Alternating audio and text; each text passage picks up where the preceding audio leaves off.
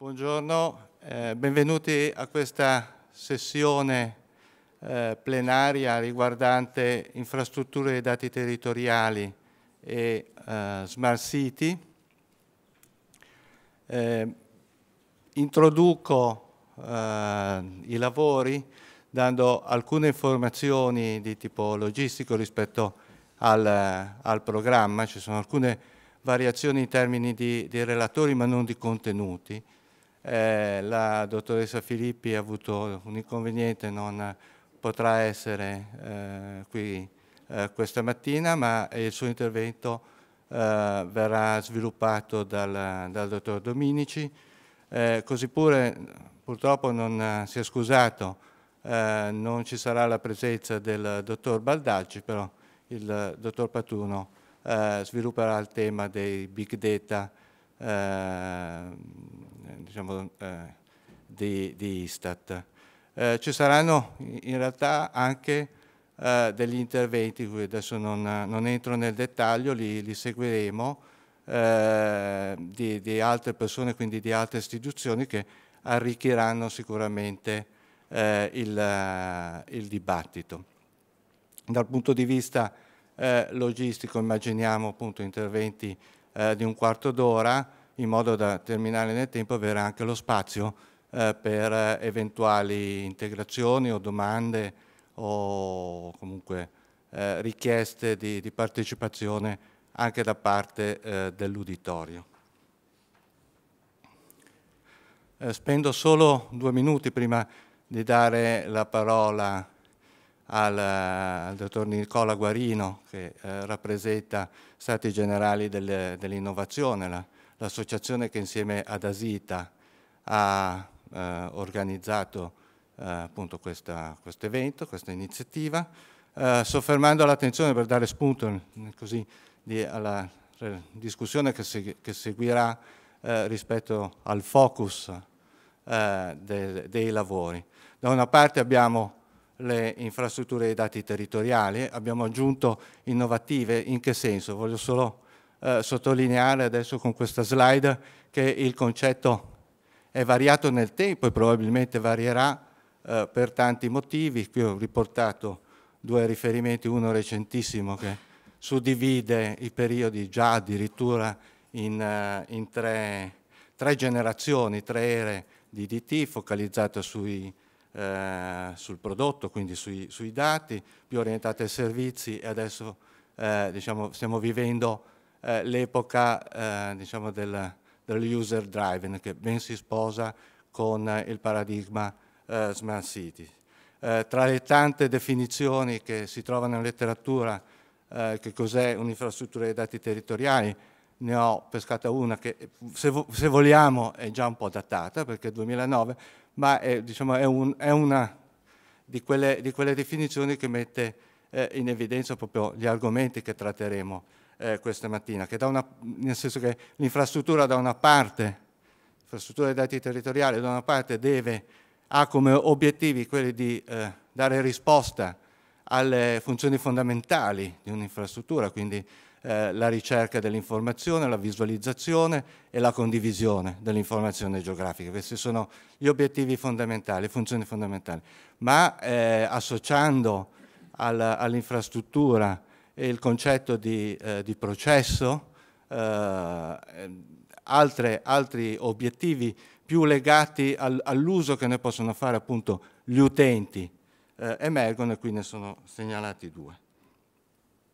Ieri mattina la sessione del, eh, del CISIS è stata eh, visualizzato questo, questo, schema, se leggiamo, se leggiamo una, una considerazione che sempre ho trovato in letteratura dalla, diciamo, dai ricercatori dell'MIT sulle smart city, eh, che mettono, pongono in evidenza quale è il ruolo, eh, secondo loro, dell'informazione geografica, beh, quantomeno in termini di proposte architetturali, funzionali, di, anche in Italia, ci stiamo avvicinando a qualcosa che appunto risponde all'osservazione eh, di qui sopra.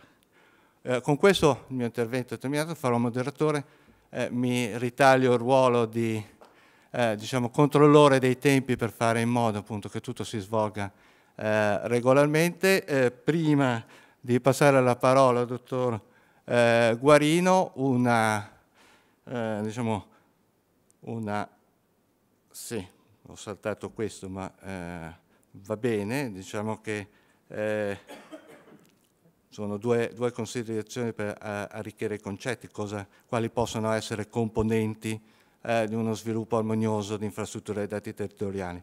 Da una parte il fatto che bisogna puntare molto sulla eh, formazione e che parlando di abilitazione dei dati geografici intendiamo, eh, intendono col concetto di spatial enablement che eh, i dati geografici eh, vengono utilizzati per valorizzare qualsiasi altro tipo eh, di informazione.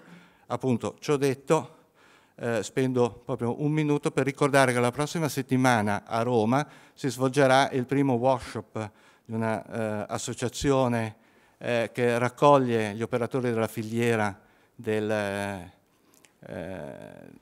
dei, dei, dei, piccoli droni, delle, eh, queste, questa nuova, nuova tecnologia per monitorare e altro, anche fare territorio, volevo segnalarla, eh, avete riferimenti eh, del sito, è un workshop de, di mezza giornata, eh, eh, Asita eh, insieme a Stati Generali dell'Innovazione e a MFM GIS hanno dato molto volentieri eh, il patrocinio a questa iniziativa. Do quindi la parola al dottor Guarino.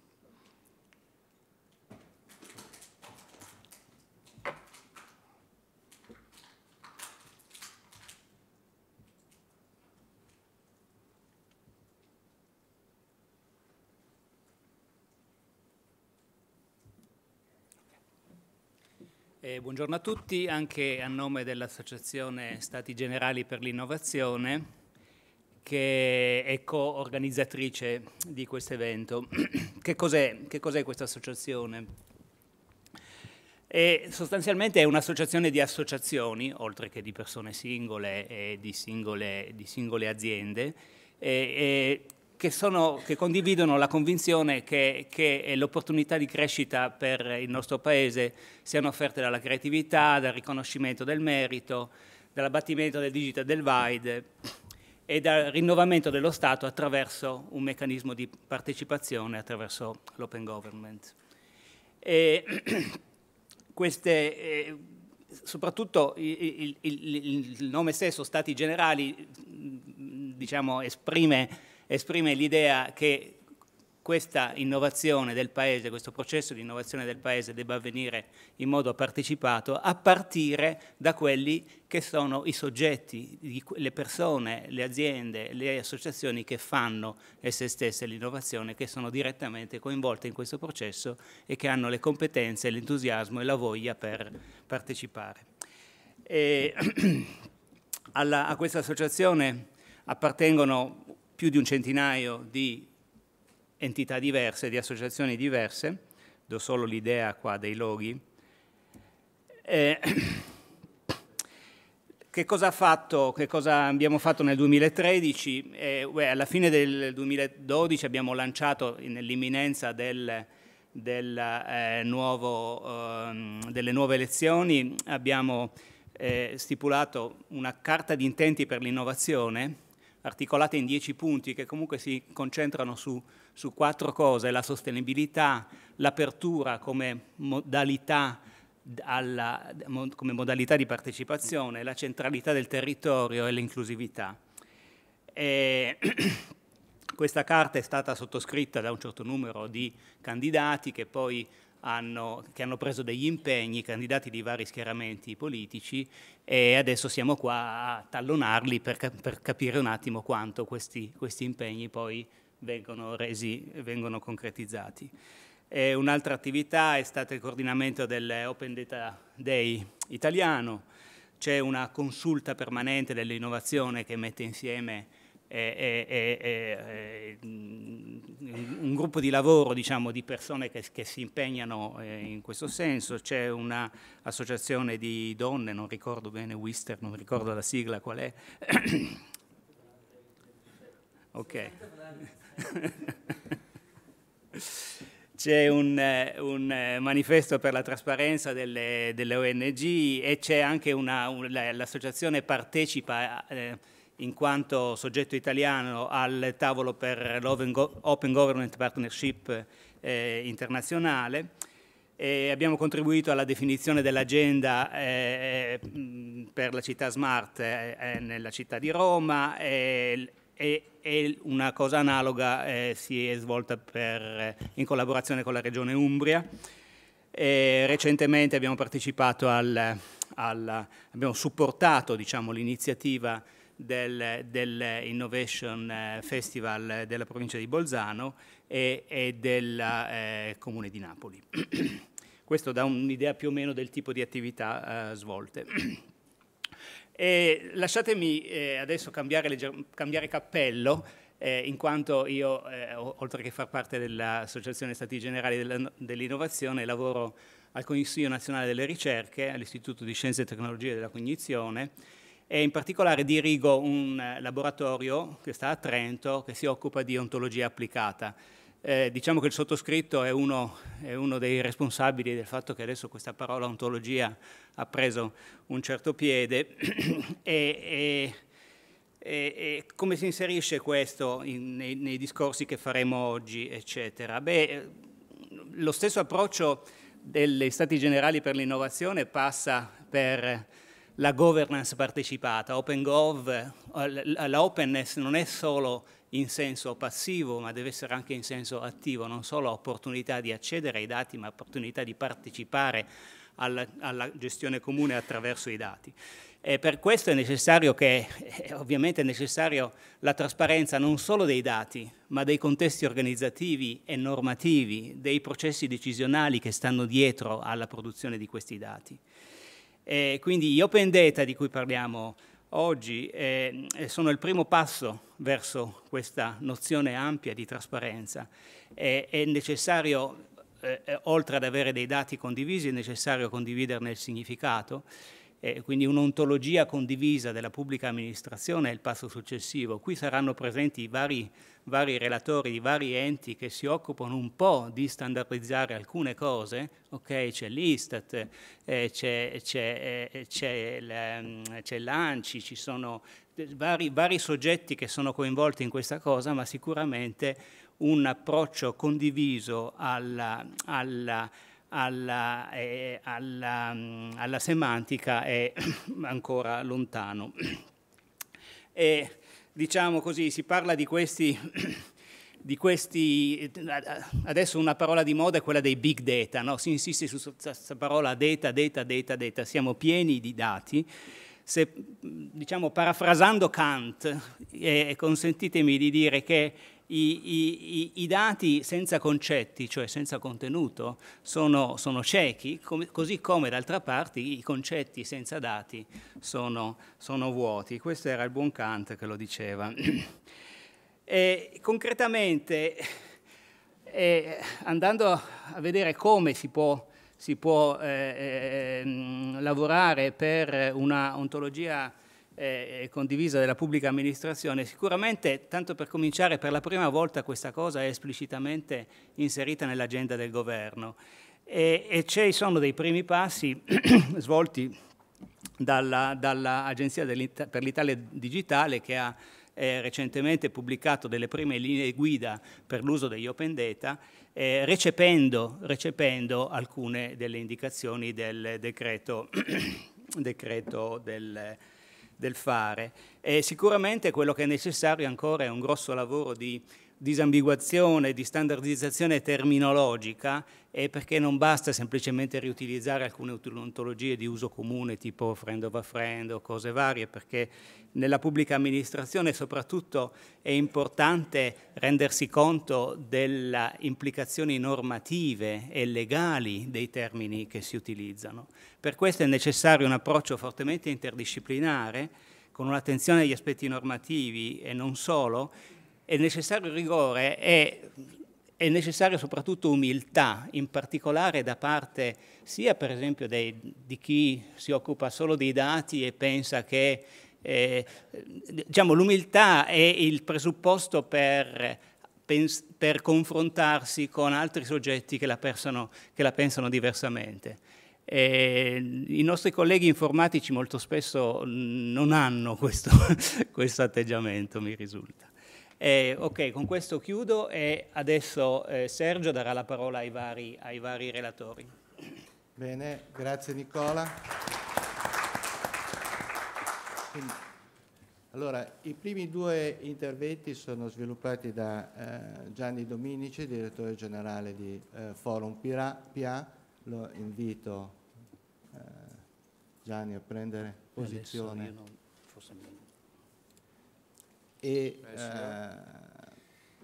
sì, grazie. Non intendo sviluppare due interventi uno dietro l'altro. Esatto, eh, esatto. Insomma, perché eh, sarebbe, dai, pesante, dai tu le chiavi sa- sarebbe pesante per me e per voi. Interventi. Dominici. Eh, Dominici, sì, cerco di riportarvi due esperienze, due esperienze che sono quella di, di Forum PA, Forum PA che è l'azienda che io dirigo e che, e che si occupa di ormai tantissimi anni, aspettate che stavo cercando di mettermi il timer eh, che si occupa di, eh, alla presunzione, eh, la supponenza e a volte la delusione di cercare di portare innovazione nella pubblica amministrazione. E, e l'esperienza che abbiamo, stiamo facendo con, con Lanci sull'osservatorio, sull'osservatorio uh, Smart Cities del Lanci. Quindi due esperienze, una di natura eh, diciamo, più qualitativa che l'osservatorio e una più quantitativa che è il lavoro che stiamo portando avanti come, come, come, come Forum PA. Ovviamente noi partiamo da un problema più generale come, come che non è quello più specialistico dei dati. Noi partiamo da un problema generale che è quello che, è quello che attualmente la pubblica amministrazione si trova ad affrontare eh, dei problemi che mettono in discussione non l'attuale congiuntura, ma i modelli fino ad oggi utilizzati. Cioè, in questo momento non si tratta di passare la nottata sperando che poi fra qualche anno riavremo una pubblica amministrazione in grado di far fronte alla complessità dei problemi. Mm, la, logica è proprio che la pubblica amministrazione, così come la conosciamo fino ad oggi, che è una pubblica amministrazione bipolare, quella che dice io sono pubblica amministrazione, tu sei cittadino, sei paziente, sei utente, è una pubblica amministrazione che non è più in grado di, di, di risolvere appunto la complessità dei problemi sociali. Dobbiamo andare incontro a una pubblica amministrazione che eh, qua, qua c'è scritto what do you think, che ascolta il territorio, che ascolta i cittadini, che considera appunto il, eh, le, le, le, gli attori locali dei, dei, dei, partner. C'è un bel libro che io cito sempre, quello di Eggers, anche tradotto in italiano, che si intitola Governare con la rete. Appunto, bisogna abbandonare la logica per cui da una parte c'è la pubblica amministrazione e dall'altra parte il territorio e invece bisogna imparare a governare, a governare la rete. Perché non a caso la scorsa edizione di Forum PA eh, era intitolata Quale eh, PA per quale paese? Cioè cercare poi di capire appunto nuovi modelli di intervento. Perché in questo contesto le, mettiamo al centro le città e parliamo di smart cities? Perché come diceva, eh, eh, mm, no, andiamo dopo come diceva, perché? Perché prima di tutto la dimensione urbana è quella dove si concentrano di più i, i problemi, è noto, gran parte delle dei problemi che noi ci troviamo a affrontare si concentrano nella dimensione urbana, ma è proprio nella dimensione urbana che esistono anche le opportunità per risolvere questi problemi, esiste conoscenza, competenze, centri di ricerca ed altro. Come diceva l'ex sindaco a questo punto di New York, da, dall'altro ieri, lui diceva eh, noi siamo il livello di governo, noi, noi sindaci, noi città siamo il livello di governo più vicino alla maggioranza della popolazione mondiale la maggioranza della popolazione mondiale risiede nelle città e quindi le città sono le istituzioni più vicine ai cittadini.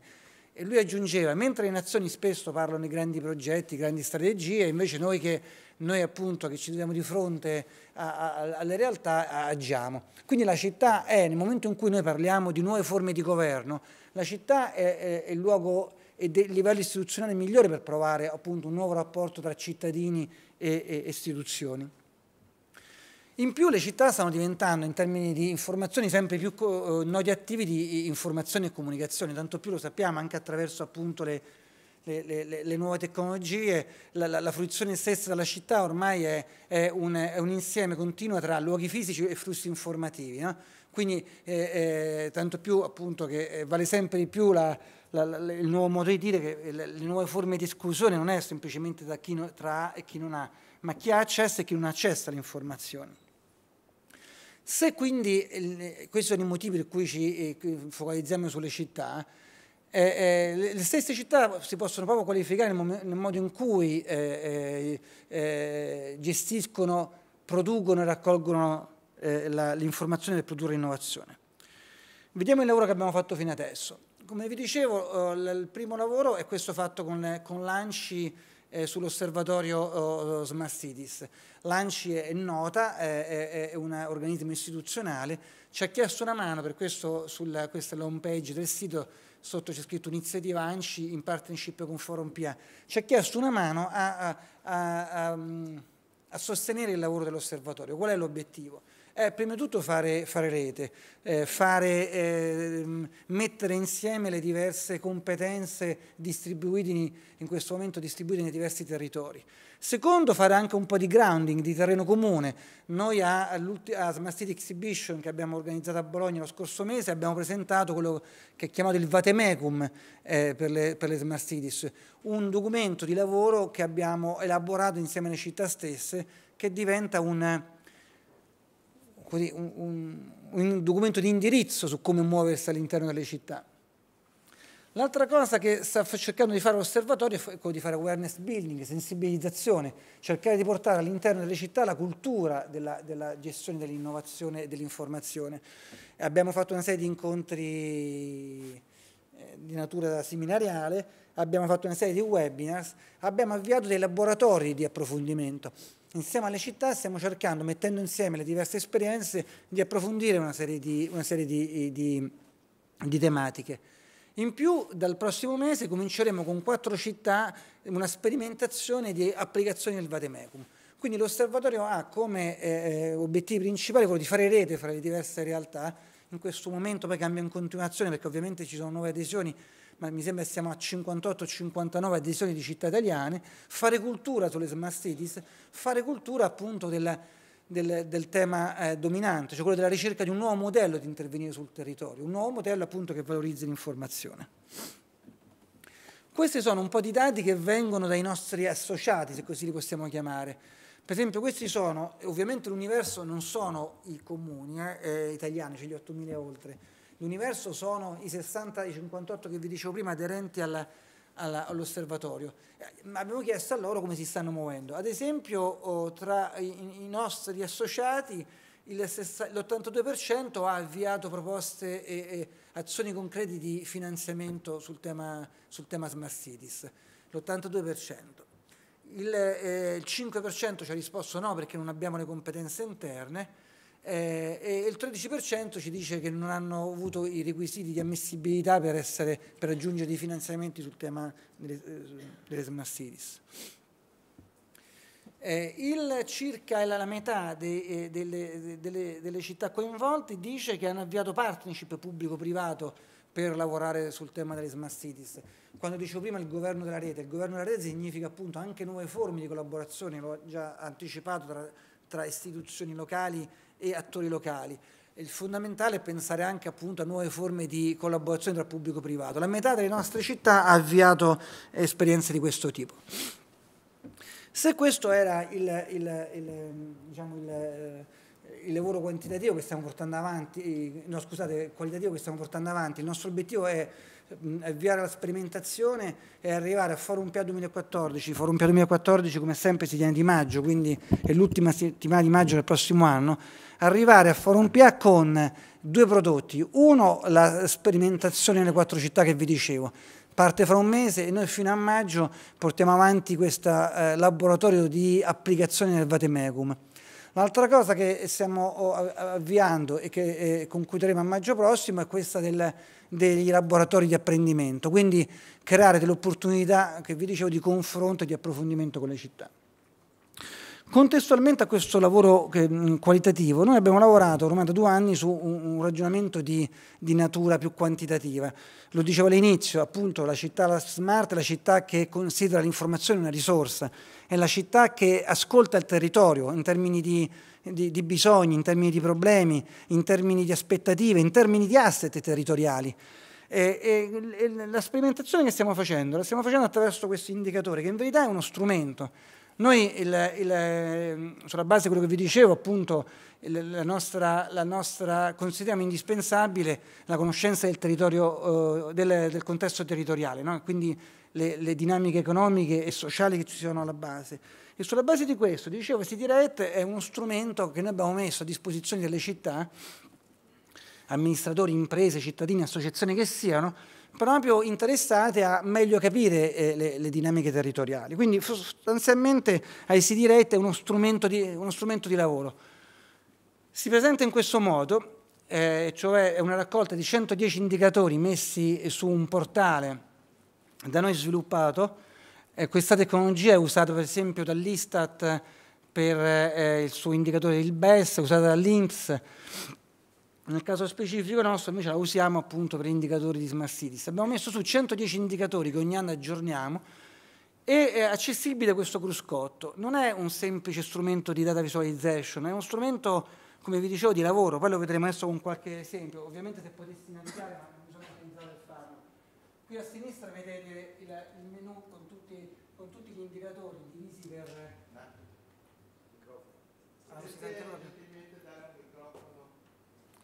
Se no torno qui, era, era semplicemente per...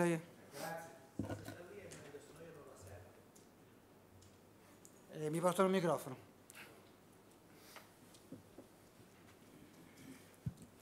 Grazie, grazie.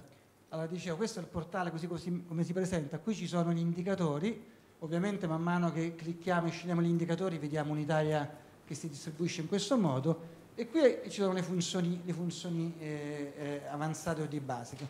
Eh, adesso lo vedremo con qualche esempio, per questo lo chiamo uno strumento a disposizione degli operatori. Eh, eh, le funzioni che noi mettiamo a disposizione sono funzioni che permettono il benchmarking, il, il, il check-up delle diverse realtà territoriali e, e la produzione di, di report specifici. Noi nella revisione dell'indice di quest'anno eh, abbiamo messo su un gruppo di lavoro informale, ci mancherebbe altro, dove però abbiamo coinvolto sia, sia l'Istat, eh, nelle sue due dimensioni che si occupano di smart cities, quindi che fanno capo a due, a due, a due dipartimenti. Abbiamo coinvolto l'Union Camere perché siamo convinti che nel momento in cui parliamo di smart cities è fondamentale e parliamo di nuovi diritti di cittadinanza, anche le imprese debbano avere una nuova, una nuova cittadinanza all'interno delle smart cities. Quindi abbiamo coinvolto Union Camere, abbiamo coinvolto ANCI e poi abbiamo eh, coinvolto una serie di associazioni che si occupano dei temi di cittadinanza attiva in particolare abbiamo lavorato con Open Policy Action Aid. Quindi abbiamo eh, ehm, confrontato il nostro lavoro eh, tramite appunto un tavolo eh, di, di, confronto con, eh, con, singole istituzioni che si occupano ovviamente di temi a noi, a noi importanti. Qual è eh, il risultato principale del, eh, del, del, del lavoro di quest'anno? Prima di tutto che la crisi sì, si fa sentire eh, nelle città con impatti concreti sui livelli di occupazione e sulla qualità dei servizi. Se noi confrontiamo l'indice di quest'anno con l'indice dello scorso anno, in termini complessivi, vediamo proprio che eh, sul, sulle, sui termini della qualità della vita siamo, siamo scesi rispetto allo scorso anno. Quello che sta migliorando, e questo è di buon auspicio anche rispetto alle premesse che ho fatto, sono che invece migliorano i valori relativi al capitale sociale e, e quelli relativi alla governance. Eh, cioè eh, la crisi, eh, la crisi ha, sta creando nuovi modi di operare all'interno della città e anche nuovi valori all'interno della città.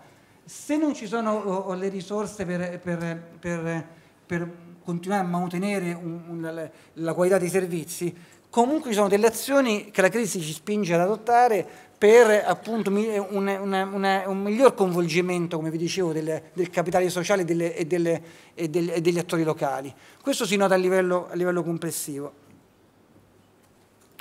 Eh, ehm, l'indice è costruito sulla base di questi sei assi, sei sei rami principali, sono la smart mobility dove abbiamo introdotto otto indicatori, smart environment, quindi ambiente, sette indicatori, eh, la governance 17 indicatori, la qualità della vita 20 e, e, e Smart People che sta per capitale sociale, quindi per, per diciamo, qualità della, del capitale sociale sono, sono, circa 18 indicatori. Questi indicatori vengono, ovviamente adesso non, non pretendo che li leggiate, comunque eh, sul portale sono a disposizione, ma solo per farvi capire eh, l'impianto complessivo, ognuno di questi appunto sviluppa poi alcuni che sono ulteriori indicatori o indici sintetici per ciascun, per ciascuna dimensione individuata.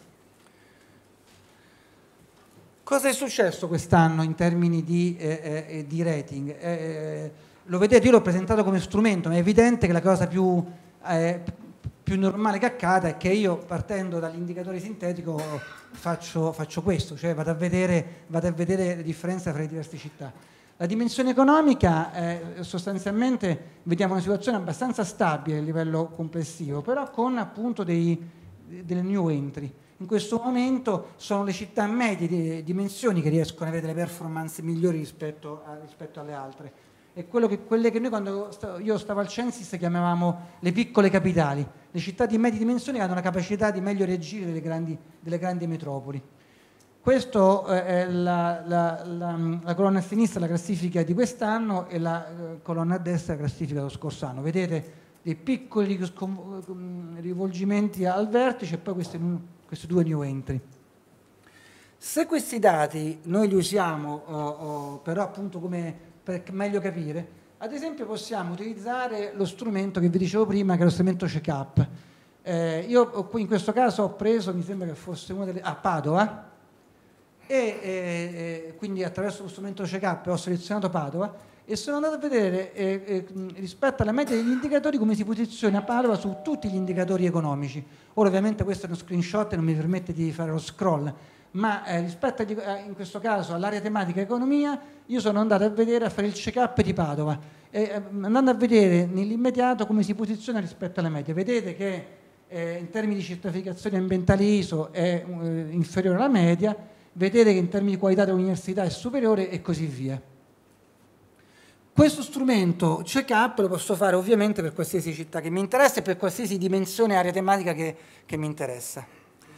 Andiamo a vedere la dimensione ambientale, 15 minuti. Dimensione ambientale, questo è il risultato di quest'anno. Eh, Trento era prima, rimane, rimane prima Vincenzo, oh, no scusa, dico Maurizio. Eh, abbiamo questi due new entry che sono Sandro e Bolzano nella classifica, nella classifica di testa. In questo caso lo strumento che posso utilizzare tra i tanti, non so se si vede bene, è lo, lo, lo strumento benchmarking io qui ho confrontato, ovviamente posso scegliere quello che voglio, sia in termini di territorio che di indicatori, ho messo a confronto Bolzano con Sondrio e immediatamente il sistema mi propone, mi propone questa lettura con un grafico a radar, andando a vedere ad esempio che Sondrio è più alto degli altri e, lo specifico di Bolzano rispetto alla disponibilità di verde urbano. Quindi questo è l'altro strumento eh, immediato che ho.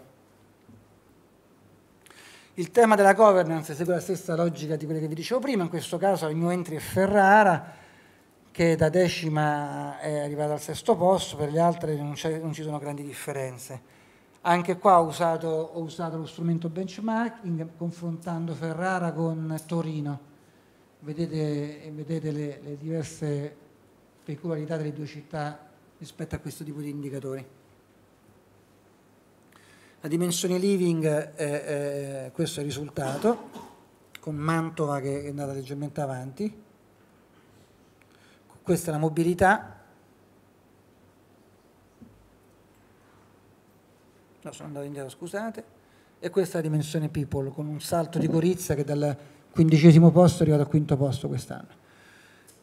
questi erano gli indicatori tematici. La classifica generale è questa. Trento dal terzo posto quest'anno è diventata la prima città in Italia secondo il nostro indice. Poi abbiamo Bologna, Milano, Ravenna, Parma eh, e, Padova che fa questo salto in avanti che abbiamo già visto rispetto agli, agli indicatori. La cosa interessante, sempre in termini di ragionamento complessivo, è prima di tutto questo, cioè se vado a isolare le aree metropolitane ho questo risultato e cioè che le aree metropolitane eh, Bologna, Milano, Firenze, Torino, Venezia stanno fra le prime dieci, eh, insegue, le, eh, inseguono anche Genova che eh, è, in posizione eh, dodicesima. Il problema principale tutto è questo, una città come Roma che si pone al ventitreesimo posto e quest'altro, cioè le tre aree metropolitane del sud che sono particolarmente isolate.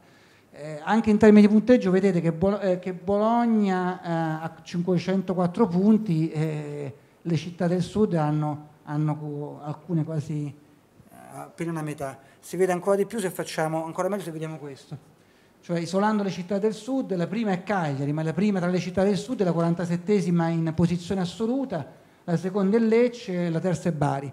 È evidente che questo, questo, questo risultato mette in evidenza una delle maggiori problematicità in questo momento quando parliamo di innovazione in Italia, cioè che anche il tema delle smart cities è un tema che rischia di restituirci un'Italia a più velocità, un'Italia fatta di occasioni perdute e occasioni mancate, perché, perché nel momento in cui diciamo che l'informazione e introduciamo nuovi elementi nel valutare, nel valutare, le performance di un sistema urbano, che non sono solo quelli economici, ma anche quelli del capitale sociale, delle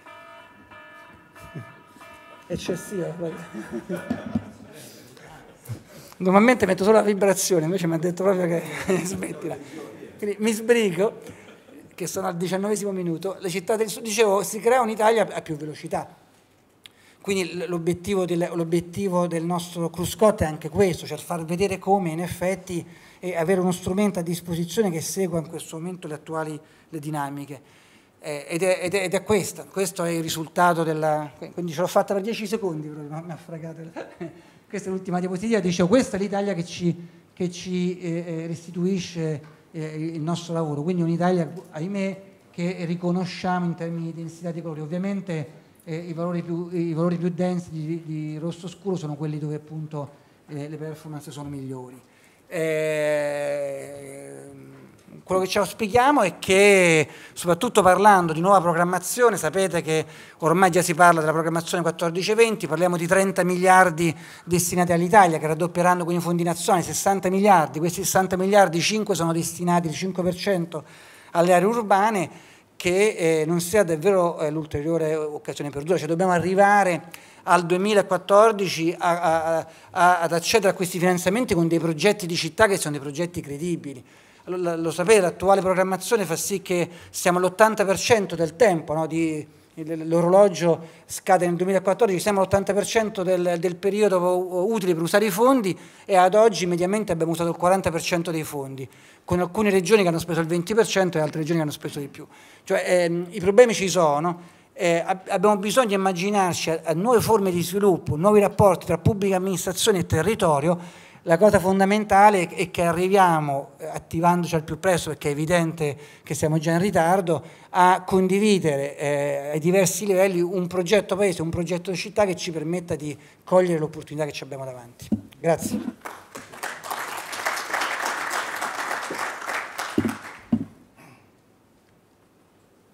Grazie mille della, della presentazione. Abbiamo visto come eh, eh, questo strumento, questo portale riesce a darci un'idea molto interessante di qual è la situazione. Il problema ovviamente è come governare, quali sono gli strumenti non solo per capire com'è la situazione, ma per effettivamente cambiare e progredire. Forse alcune delle presentazioni che seguiranno vanno anche in questa direzione. E... Prego. Bene, eh, invito per la presentazione di EULF, il progetto del programma ISA che è focalizzato eh, sullo sviluppo di un eh, framework di eh, location habitat eh, data, il, eh, il dottor Pigna, Francesco Pignatelli del JRC. Prego. Grazie, grazie Chairman, grazie Sergio per l'invito. Um, um, oggi um, il GRC è qui eh, della Commissione europea per dare un, una panoramica, un overview su questo uh, progetto, uh, questo studio che ha come obiettivo quello di estendere diciamo, l'esperienza Inspire, l'approccio anche eh, ad altri settori che non siano solo quello ambientale e quindi in questo caso in particolare eh, in che modo l'informazione geografica e in particolare la location può essere utile per, eh, per l'e-government e per i servizi di e-government e in, in, particolare in questo caso per questa sessione anche quanto è rilevante per, le, per il discorso uh, sulle smart city. Uh, allora, quindi par, par un attimo darò un overview sulle smart city e la, la location, la, la rilevanza, l'ISPIRE e l'interoperabilità, uh, come questo programma ULF eh, fa parte del programma più generale della Commissione europea eh, AISA, eh, una breve descrizione delle priorità e poi eh, un, primo, eh, un, primo, risultato preliminare eh, del questionario che abbiamo fatto ai vari Stati membri eh, sull'uso e sull'integrazione dell'informazione territoriale nei servizi di government. E poi ehm, concluderò eh, cercando anche di eh, stimolare la vostra diciamo, partecipazione anche per il futuro di questo, eh, di questo progetto. Um, allora, la visione della città del futuro, come abbiamo visto più volte anche negli interventi che, che mi hanno preceduto e anche quelli della sessione eh, precedente, eh, la città del futuro richiede che sia intelligente e sostenibile con servizi pubblici integrati che possano creare a loro volta nuove opportunità di crescita tramite la messa a disposizione di informazioni del settore pubblico. Eh, quindi la sostenibilità in termini di gestione delle risorse del territorio come l'acqua, energia, rifiuti e altro requisito fondamentale per minimizzare l'impatto ambientale. Le tecnologie dell'informazione e della comunicazione sono sempre più pervasive nella nostra quotidianità e questo significa che il lavoro di una città intelligente deve essere svolto da sensori, device intelligenti e sistemi di metering automatici. Come abbiamo anche visto e più volte detto, questo l'ICT eh, dovrebbe essere considerato non come un fine ma come un mezzo diciamo, per, per raggiungere determinati obiettivi. Quindi eh, ritroviamo qui un esempio di aree e applicazioni dove la localizzazione, cioè l'informazione geografica, eh, può essere rilevante per una smart city. Nell'ambito del settore dei trasporti, eh, per esempio sensori per gestire in maniera efficiente i bisogni di chi si muove in una città, come attraverso dei sistemi di trasporto intelligenti, l'utilizzo di informazioni sul traffico, sulla previsione di mezzi di trasporto pubblici e la disponibilità di parcheggi, in ambito ambiente eh, col monitoraggio della raccolta, tracciamento dei rifiuti, amministrazione dell'inquinamento urbano, atmosferico, acustico, eccetera. Poi in ambito eh, energia e acqua, monitoraggio del consumo complessivo di energia, elettricità, gas e risorse idriche. Um, e anche la gestione degli edifici è importante, eh, come abbiamo anche visto, con eh, smart metering e misurazione del consumo di energia elettrica, gas e acqua. E poi anche per quanto riguarda la sicurezza dei luoghi, eh, sensori di videosorveglianza, sistemi di previsione e prevenzione del rischio. Allora, tutte queste eh, applicazioni e questi eh, sensori, chiaramente eh, uno degli aspetti fondamentali è l'interoperabilità. Questi sono considerati fattori portanti, i pilastri portanti, eh, fondamentali per avere dati realmente interoperabili, soprattutto dal punto di vista semantico e strutturale. Questo significa che i dati devono essere armonizzati secondo schemi concettuali definiti, e fare riferimento a vocaboli armonizzati e multilingua e a registri comuni. Ora, un primo passo per, eh, diciamo, verso l'interoperabilità eh, può essere eh, considerata la direttiva INSPIRE. La direttiva europea che propone la creazione di un'infrastruttura europea per la condivisione e l'armonizzazione dei dati spaziali, con focus nelle aree tematiche ambientali.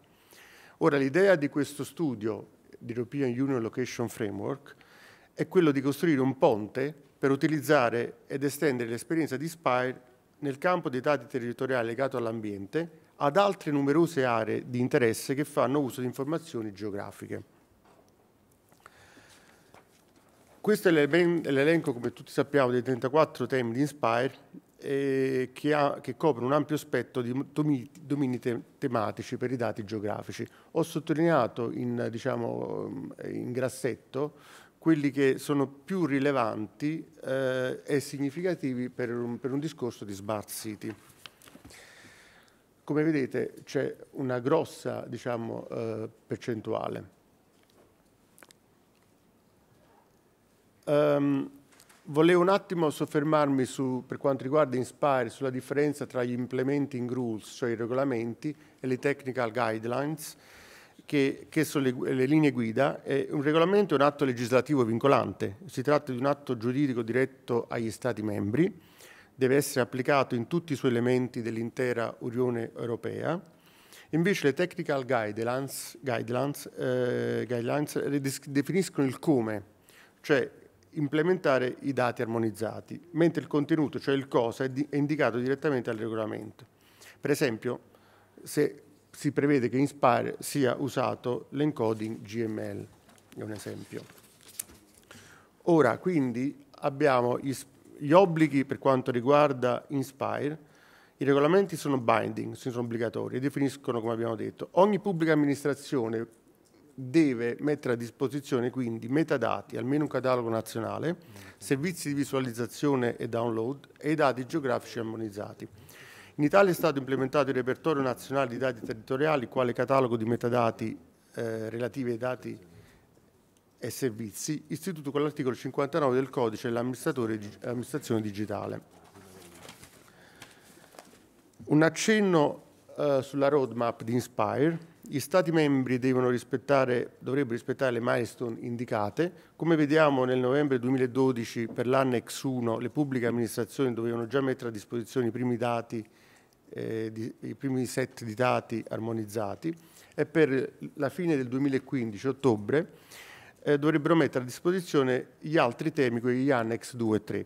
Eh, una particolare raccomandazione va data ai dati geografici di nuova produzione, eh, che devono rispettare le implementing rules e ad oggi non sempre diciamo, si verifica, questo vorrei dirlo, e una maggiore elasticità invece viene prevista per i dati pregressi. Come si vede c'è una differenza tra il verde chiaro e il verde più scuro. Uh, un esempio, per esempio, in futuro i dati di censimento, uh, che sono particolarmente eh, rilevanti per le comunità intelligenti, dovrebbero essere allineati con, con le specifiche di Inspire. Ora, eh, fatto questa, diciamo, questa, questa premessa su, su, cosa Inspire prevede per gli Stati membri, che eh, ho voluto solo fare un richiamo, ULF si eh, inserisce in questo programma della Commissione europea che si chiama Interoperability Solution for European Public Administrations ed è finalizzato ad agevolare le amministrazioni pubbliche in tutta Europa a collaborare a diminuire le barriere al digital divide, ottimizzare le risorse attraverso infrastrutture e servizi comuni, e promozione e condivisione e riuso di dati e delle soluzioni software. In effetti eh, l'obiettivo è quello di eh, facilitare cross-border e cross-sector eh, scambio di informazioni per quanto riguarda le pubbliche amministrazioni.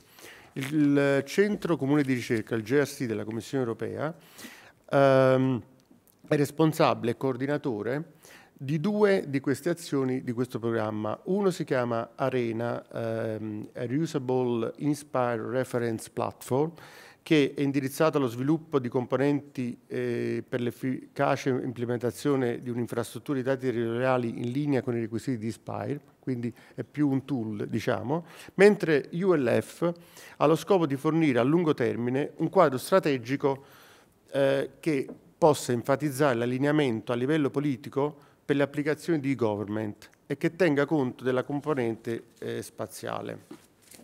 Per quanto riguarda ULF, abbiamo cinque priorità che abbiamo, focus area, che abbiamo individuato. Uno, la prima è l'allineamento di politiche e strategie, un approccio legislativo e politico coerente a livello europeo e nazionale abbiamo l'integrazione eh, diciamo, della componente spaziale nell'e-government eh, per agevolare eh, i servizi è, un, chiave, un, elemento chiave. Un'altra, eh, un uh, un'altra area è la sta, standard e interoperabilità, che eh, l'obiettivo è quello di creare delle linee guida per standard e tecnologie per l'interoperabilità e il riutilizzo dei dati. Poi chiaramente bisognerà fare, uh, avere diciamo, una valutazione dei costi-benefici e, e, e, valutazione di impatto mm, per, per use case che andranno poi definiti. E chiaramente tutta questa attività va fatta in collaborazione con altri partner che hanno già eh, iniziative analoghe in corso o progetti e quindi eh, i nostri obiettivi andranno condivisi e si cercherà di eh, migliorare anche le sinergie tra i vari attori coinvolti. Uh, un primo documento che è stato da poco, uh, da poco diciamo, emesso, è stato um, elaborato, e eh, la visione strategica di ULF, che definisce ehm, che, le, diciamo, lo, gli obiettivi dei prossimi anni per questo studio. Identifica i maggiori stakeholder eh, nell'ambito del programma ehm, e, eh, e, progetti europei ad essi collegati. Questa, eh, diciamo, questo documento è stato discusso in un uh, recente workshop che c'è stato a Copenaghen dove rappresentanti dell'e-government e di Inspire si sono incontrati per la prima volta e, e come gruppo di lavoro e, e diciamo, l'intenzione è quella di, eh, for, di, avere feedback e commenti anche per il futuro, per i futuri deliverables di, di questo studio. Come vediamo qui, eh, lo studio ad oggi dovrebbe completarsi nel 2014 verso la metà, però poiché diciamo, le ambizioni sono abbastanza elevate, che non erano così diciamo, all'inizio, abbiamo già chiesto un'estensione fino alla fine del 2015. 2015. E eh, l'obiettivo è quello di avere, una, di avere più versioni del vision document che verrà man mano aggiornato. A fine anno ci sarà un primo eh, diciamo, importante report che terrà, terrà conto anche di, delle, diciamo, del questionario, del survey che abbiamo fatto che si chiamerà Assessment of the Condition for una ULF e poi avremo eh, il blueprint e, che sarà una serie di documenti eh, faremo un, una public consultation ad un certo eh, punto e, e, ci sarà a fine 2015 una roadmap nella quale eh, pensiamo anche di, eh, eh, di, definire un po' eh, quali sono le, le, diciamo, i passi da fare eh, in futuro, dopo il 2015, in termini di, in termini di user, diciamo, user needs, user ehm, di, di, di, training, di governance e così via, se questo framework verrà in qualche modo eh, portato avanti, implementato. Chiaramente, come dicevo, ci sono una serie di, eh, diciamo, di partner che sono coinvolti e che stiamo diciamo, man mano ehm, diciamo, eh, contattando, contattando, cercando di capire le sinergie e gli input che possiamo dare reciprocamente. Eh, adesso vorrei fare un accenno velocissimo sul, sui primi risultati che abbiamo avuto eh, sul survey che eh, in, eh, riguardava l'uso e l'integrazione dell'informazione territoriale negli servizi di government e che è stato fatto, eh, diciamo, inviato alle pubbliche amministrazioni dei vari Stati membri. Abbiamo definito quali possono essere i benefici e quali sono le best practice, le iniziative dei vari eh, Stati membri.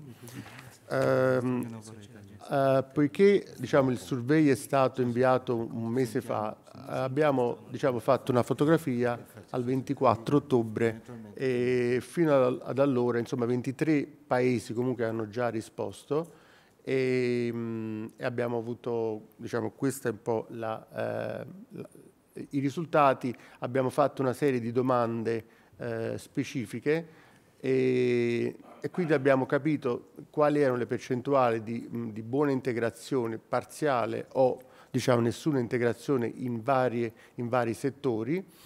E ehm, diciamo che eh, l'utilizzo per quanto riguarda i processi e i servizi velocemente eh, l'integrazione forte risulta per la registrazione delle proprietà immobiliari, pianificazione territoriale, gestione degli indirizzi, pianificazione dei trasporti, parziale per quanto riguarda i permessi ambientali e pianificazione territoriale e è assente o praticamente assente eh, per l'anagrafe dei cittadini e le aziende, quindi diciamo che eh, c'è poca integrazione dell'informazione geografica in processi legati ai servizi amministrativi di base. Però si registra qualche buona pratica, best practice in eh, in alcuni Paesi membri, come anche esistono applicazioni innovative e cross-border. Per quanto riguarda i benefici, eh, possiamo dire che eh, per le pubbliche amministrazioni eh, il beneficio nell'avere un'informazione geografica intera, integrata nei servizi di government e, e sono relativi a una maggiore collaborazione e coordinamento, risparmio tempo e costi e semplificazione dei processi. Per quanto riguarda il cittadino, potrebbe quindi chiaramente avere servizi più efficaci, risparmio di tempo e costi e nuovi prodotti. Per la società in genere avremo una PA più aperta e trasparente, maggiore partecipazione e impegno dei cittadini.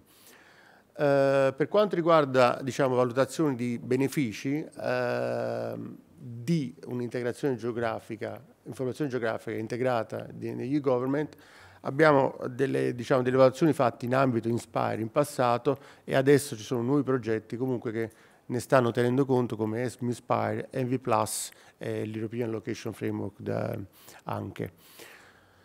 Um, brevemente l'integrazione con e-government è importante a livello strategico, uh, organizzativo e per quanto riguarda la politica di accesso ai dati.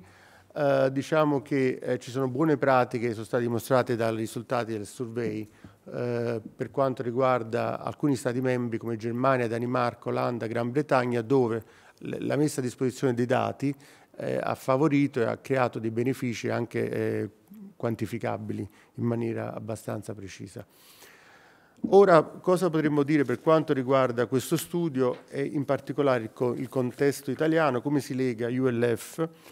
Eh, diciamo che attraverso il lavoro realmente congiunto, secondo me, dell'Agenzia per l'Italia Digitale da una parte, i government e eh, il Ministero dell'Ambiente dall'altro per quanto riguarda Inspire, questo significa anche che su scala nazionale è necessario definire le policy, strumenti specifici per avere dati di location che siano interoperabili sia da un punto di vista semantico che tecnologico, partono da quanto previsto in Inspire e garantiscano, secondo me, una interoperabilità sia verticale, cioè dai comuni alle regioni agli enti nazionali, che orizzontale, per essere realmente interoperabili. E risponde quindi alle esigenze di una smart city, questi devono essere per poter utilizzati in più domini e ambiti. Uh, dati locali sono importanti, come dicevo, in una smart city, perché devono in, prima, uh, in primo luogo coinvolgere i stakeholder locali, comuni, imprese private, eccetera. Concludo um, dicendo che appunto per avere comunità smart city, città intelligenti come vogliamo definirle, occorre integrare l'informazione geografica ai processi di government, armonizzare i dati geografici, attuare le politiche di open data almeno per i dati geografici di riferimento, indirizzi, particelle catastali, strade, queste diciamo, sono delle conclusioni che mi sento di dire, poi raccogliere, disseminare e riusare le best practice che ci sono già in giro e cercare di farle proprie e di eh, capire quanto siano applicabili anche ad altri in altre circostanze e anche definire una governance nazionale per l'attuazione di politiche relative alle comunità intelligenti. Per quanto ne sappia, in Italia il quadro normativo di riferimento è dato all'articolo 20 del decreto crescita 2.0. Le prossime attività per lo studio di ULF eh, sono, diciamo, stiamo raccogliendo ancora feedback sul vision document e quindi poi lo aggiorneremo con una versione, abbiamo la versione 0, poi avremo la versione 1 e poi 2 alla fine del progetto, il questionario che, di cui vi dicevo, il survey, e poi abbiamo creato una community su JoinUp e su Inspire Forum, eh, organizzeremo un, un, workshop a Budapest l'11 dicembre eh, che sarà back to back, cioè eh, praticamente il giorno dopo ci sarà eh, quello su Copernicus organizzato, quindi eh, cercheremo anche lì di capire la, le sinergie tra GMS, l'Earth Observation e i dati territoriali e l'ULF Location. Quindi Integration of Location e-Government Best Practice from Europe. Raccoglieremo altre informazioni, quindi eh, se, diciamo, se avete eh, più opportunità o interesse a saperne di più, comunque qui ho anche una serie di brochure che poi lascerò e potre, potrete eh, avere. E mm, contattateci diciamo, se, se, siete interessati. Grazie per me. Grazie. Grazie a te Francesco. Eh, prima di ascoltare le, le esperienze e la descrizione delle attività di Istat, eh, invito il dottor Gabriele Ciasullo eh, dell'Agenzia per l'Italia Digitale a integrare e riportare al contesto eh, nazionale quanto abbiamo appena ascoltato. Prego Gabriele. Oh, grazie, grazie Sergio.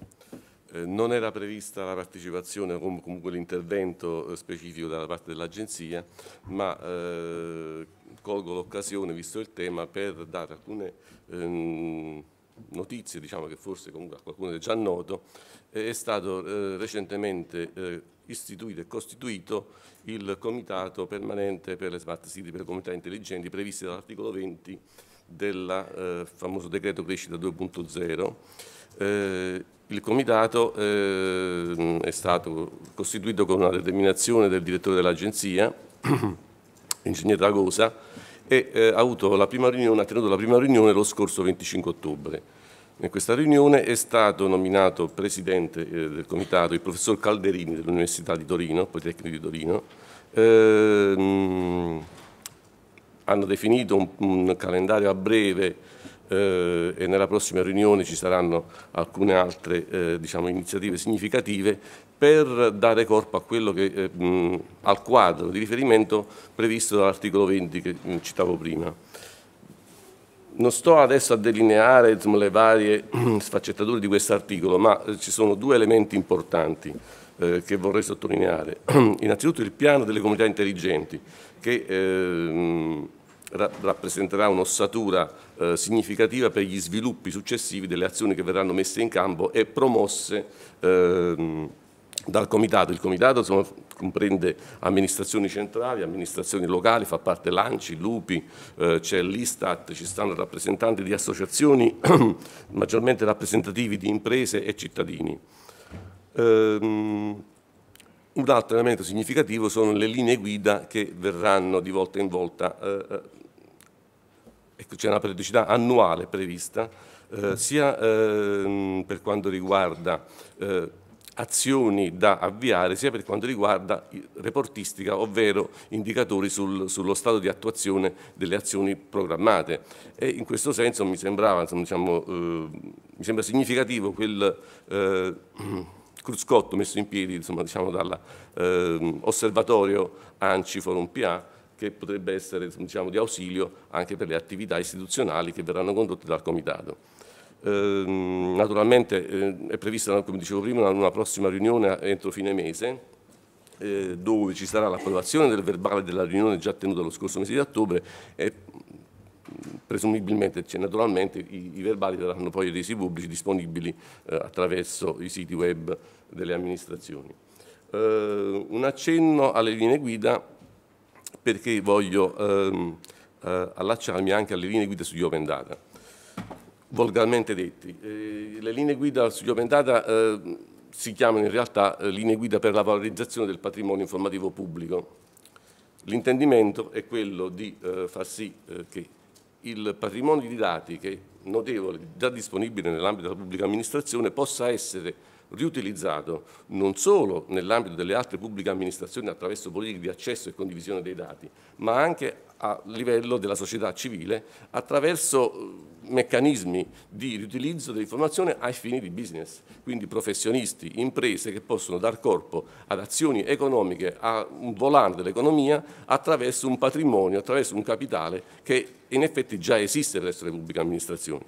E questo è, è um, la chiave di lettura del, del, del termine open data ed è anche uh, l'elemento che si affianca a ciò che saranno le azioni che saranno messe in campo per le smart city, laddove il patrimonio di dati, unitamente al patrimonio delle persone, dei cittadini, rappresenta un elemento significativo per lo sviluppo, tra virgolette, del benessere.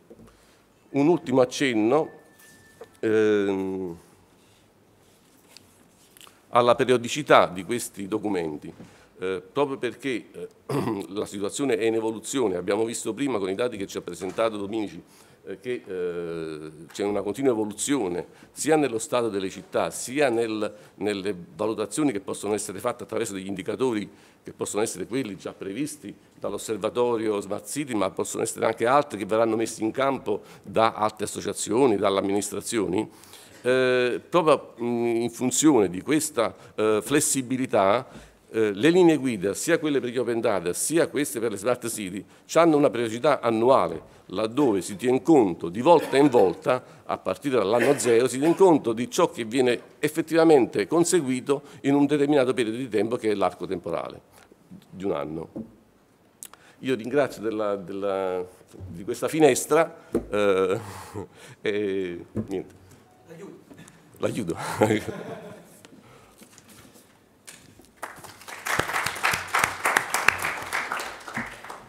Grazie, grazie, mille dottor Cesullo. E in effetti è, è, è, un'ottima cosa che ci sia stata la possibilità di un intervento sia pur breve dell'Agenzia per l'Italia Digitale perché ovviamente dopo la presentazione del dottor Pignatelli a proposito di questa cosa, eh, di questa iniziativa europea e dopo eh, l'affermazione che per esempio il legame tra i, i, i, la direttiva Inspire e l'anagrafe del cittadino è normalmente assente eh, a livello generale, certo uno si domanda come questa situazione potrebbe, come si potrebbe fare una migliore sinergia tra quello che sta succedendo a livello europeo per Inspire e quello che, eh, che, abbiamo in programma come agenda digitale. L'anagrafe del cittadino è una delle prime priorità della, della, dell'agenda digitale. Allora, qua non so se vogliamo. Magari potremmo rimandare questa cosa al dibattito alla fine, forse, non so. Qui c'è quello... No, qua si può iniziare diciamo, una serie di riflessioni eh, sia per quanto riguarda il programma EULF, sia per quanto riguarda eh, altre iniziative in corso a livello nazionale. Eh, è evidente che eh, c'è un impegno mh, da parte delle amministrazioni, almeno il quadro normativo dà un impegno alle amministrazioni eh, di eh, andare in una certa direzione. Cap come ci sta facendo una citazione, capire la crisi non vuol dire che la crisi è risolta. È evidente quindi che bisogna mettere in campo delle azioni che eh, il quadro normativo ci propone e eh, l'intervento della società civile è un intervento che si affianca alla norma per dare un contributo significativo verso questa direzione. A proposito del, del, programma EULF, noi abbiamo già nel, sempre nel decreto crescita 2.0 un'azione già definita, è quella dell'anagrafe nazionale, stanno, mh, di cui si sta occupando l'amministrazione competente. Eh, è evidente che eh, quella discrasia che è evidenziata rappresenta lo scarto tra la realtà attuale e la realtà a tendere. Lo sforzo è quindi fare in modo che l'informazione digitale geolocalizzata possa essere un elemento significativo nell'ambito dell'anagrafe del cittadino, con cui si legano altre informazioni geolocalizzate presenti in altre applicazioni di altre amministrazioni. Quindi eh, l'esercizio è quello di cercare di vedere, è evidente che la, eh, il, il, dato di, eh, diciamo volgarmente, indirizzo è un elemento essenziale nell'anagrafe, ma è evidente che attualmente non ce n'è un utilizzo dal punto di vista digitale e georiferito. Un'altra delle azioni che sta mettendo in campo l'Istat è proprio quello di fare l'anagrafe dei numeri civici eh, ed è previsto sempre, mi sembra, dall'articolo, adesso non ricordo l'articolo, ma è previsto sempre dal decreto crescita 2.0.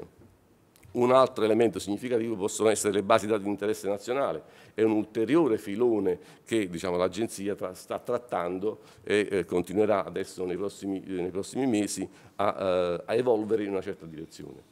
Un ultimo accenno perché mi incuriosiva, cioè quella cosa sulle autologie, eh, non c'entra col tema di adesso, però eh, siccome noi diciamo, gestiamo il repertorio e quindi siamo affacciati al tema della semantica, la butto come riflessione, eh, se parliamo di ontologia trasversale per la pubblica amministrazione o di ontologie verticali per domini di competenza.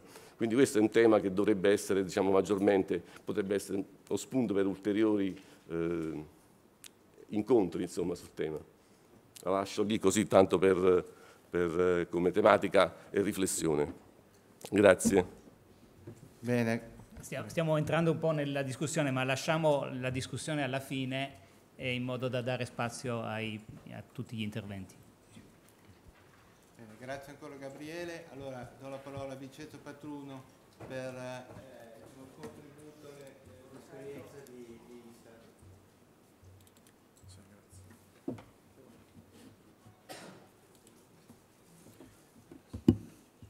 Ok, metto, buongiorno a tutti, metto anche io la, il, il, cronometro. Ehm, parlerò di questo, System Open Data, i catalogizzatori di Istat per le città intelligenti, ma in realtà vado ad includere anche un paio di, ehm, di spunti che avrebbe ehm, dovuto presentare il eh, dottor Baldacci, che, potuto, che, avrebbe dovuto fare il, l'intervento successivo, ma che non è potuto essere qui con noi. Quindi ha chiesto a me di sostituirlo, questo perché oggi eh, lui è andato a sostituire il eh, presidente Golini in un'altra circostanza.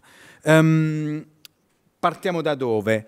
eh, partiamo da qui, partiamo dal fatto che eh, città intelligenti, in realtà abbiamo sentito una serie di definizioni di, di smart city, di città intelligenti, una lettura che comunque può accomunare tutte le definizioni esistenti e che un, possiamo dire che è eh, una città intelligente, è una città che racconta se stessa attraverso i dati.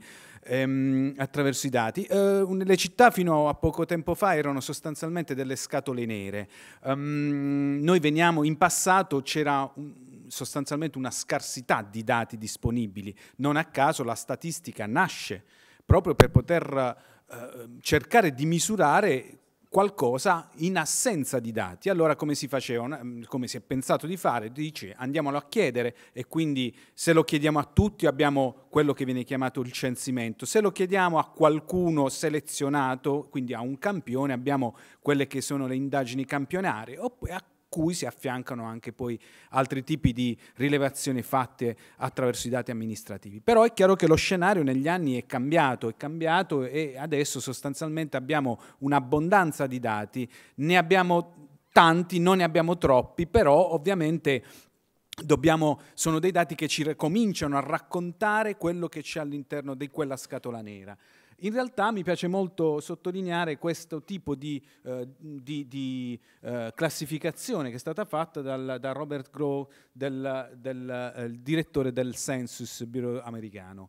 Um, quindi una suddivisione di che cosa? Dei dati disponibili all'interno delle città eh, suddivisi per organic data e design data. Organic data rientrano un po' tutti quei dati di, di cui abbiamo parlato oggi, eh, i, i, dati satellitari, i sensori, i GPS, gli smartphone, i dati di, eh, dei social uh, media e, e quant'altro. I, mentre invece nei design data ritroviamo i dati amministrativi, i dati dei censimenti, i dati delle indagini fatte all'interno dei nostri territori. Um, questo potete trovare poi un, riferimento a un articolo molto interessante sulla questione che è stato pubblicato lo scorso anno su una rivista che si chiama Significance Magazine. E che cosa fare con i dati eh, nel momento in cui ci affacciamo a vedere che cosa accade all'interno delle nostre città? Questo per esempio è una, una visualizzazione di cosa accade a Detroit. Qui le aree eh, blu sono quelle dove sta crescendo la popolazione, mentre invece quelle rosse dove invece diminuisce. Quindi noi abbiamo un'idea di che cosa sta accadendo nelle nostre città semplicemente andando a vedere, ehm, a, visualizzare i dati che rappresentano un determinato fenomeno. Dove troviamo questi questi dati? Beh, in Italia, eh, nel nostro caso, abbiamo i censimenti. Il censimento della popolazione 2011 ci fornisce tante possibilità per poter andare a guardare all'interno delle nostre città e non solo di alcune, ma in tutte le nostre eh, città eh, d'Italia. Qua per esempio siamo a Torino, ci, eh, con i dati 2011 andiamo a vedere come è distribuita la popolazione del centro di Torino e il dato ovviamente è per sezione di censimento. Vi ricordo che proprio nel 2011 l'Istat ha fatto un passaggio importante che è quello di rilasciare in maniera libera e gratuita eh, diciamo, tutte le basi territoriali che nei negli anni precedenti in realtà erano destinate a particolari soggetti o diciamo, erano sostanzialmente accessibili a pagamento. Qua per esempio siamo nella città di Roma e vediamo come sono distribuiti i pensionati per esempio. Qua ancora città di Roma gli stranieri, quindi riusciamo effettivamente a capire che cosa succede nelle città andando a a visualizzare eh, i dati del censimento. Ce ne sono tanti, saranno, eh, verranno rilasciati eh, adesso a, a, dicembre, qualche considerazione sui dati del censimento la facciamo in seguito e la facciamo adesso la, la considerazione.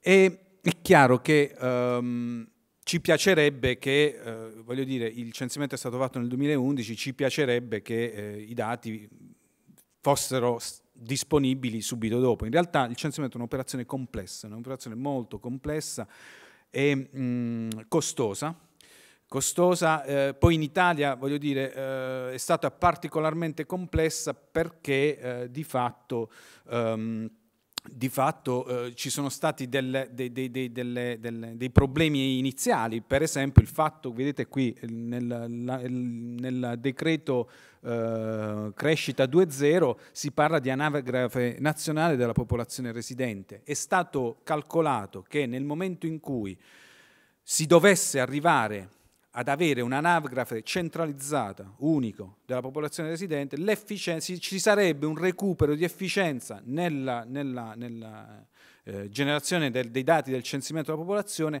attorno al 24-25%, che è tantissimo. Quindi noi scontiamo problemi di questo tipo, eh, diciamo infrastrutturale dal punto di vista del, del dato. Che cosa dice il, il decreto crescita? In realtà, eh, proprio per andare incontro alla esigenza dei del, degli user, dei, consumatori del dato, eh, di dati eh, freschi ovviamente, di dati che, poss- che, abbiano, che sviluppino delle potenzialità, quindi c'è l'idea, c'è il progetto del censimento continuo della popolazione delle abitazioni, quindi non uno ogni dieci anni, dieci anni è un tempo troppo lungo effettivamente per poter avere dati che possano preservare e conservare la potenzialità eh, intrinseca del dato stesso, ma quindi censimento continuo. Bene, per fare il censimento continuo però abbiamo necessità di recuperare efficienza, abbiamo necessità dell'anagrafe nazionale della popolazione residente. Abbiamo necessità anche di un'altra cosa, che è quella dell'archivio nazionale delle strade e dei numeri civici. Non avete idea del lavoro che c'è stato per poter, diciamo, in qualche modo andare a recuperare nei comuni le informazioni sulle strade, i numeri civici, gli edifici e normalizzare questo tipo di informazione per renderla disponibile ai consumatori del dato.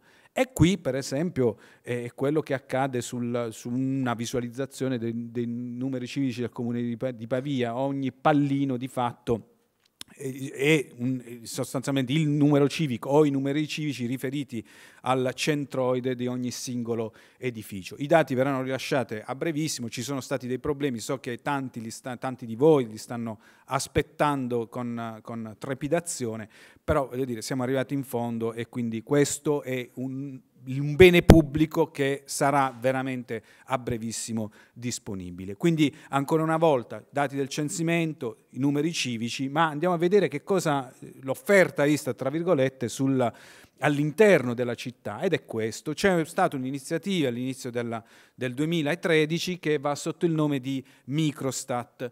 È chiaro che l'Istat ha sempre prodotto dati dal, dal comune in su, dati nazionali, regionali, al più si è sempre arrivati a livello comunale, ma andare a vedere dentro la città è sempre stato diciamo, off limit per, per tutta una serie di ragioni, perché di fatto le indagini campionarie non ci arrivano, perché diciamo, l'unica uh, diciamo, operazione che viene fatta dentro le città è quella dei censimenti a livello di sezione di censimento e, e basta, quindi non andiamo ad aprire, a scoperchiare questa iniziativa Microstat consente, ha consentito all'Istat di pensare di rilasciare file di microdati sub, eh, diciamo, file di microdati che possono essere utilizzati eh, diciamo, per, per uh, i vari scopi. In questo caso abbiamo gli incidenti stradali. Quelli che sono rappresentati su quella mappa sono gli incidenti stradali riferiti al 2012 per quanto riguarda, eh, per quanto riguarda gli incidenti fatti dove almeno uno dei, dei, dei, dei soggetti coinvolti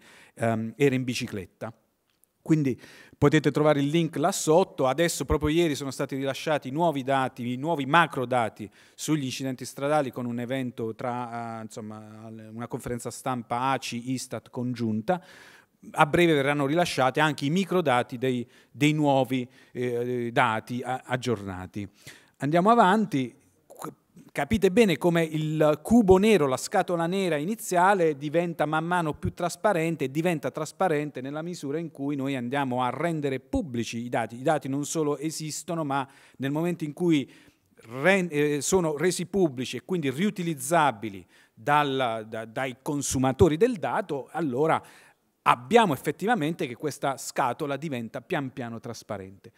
Stiamo parlando di fatto di open data. Chi produce i dati che raccontano quello che accade nella città? Beh, sono ovviamente la parte pubblica amministrazione, government, la parte aziende che operano sul territorio, quindi possiamo immaginare so, l'azienda di, del, del, dei, dei trasporti piuttosto che, che, quella del gas, piuttosto che quella dell'energia elettrica, piuttosto eh, quello che volete, poi c'è una parte importante che è quella de, dei dati um, di provenienza community, di provenienza community e quindi um, lo vedrete nell'intervento successivo di, di, di, Maurizio Napolitano, che tra parentesi ringrazio perché lui mi ha suggerito il titolo di questa, di questa presentazione.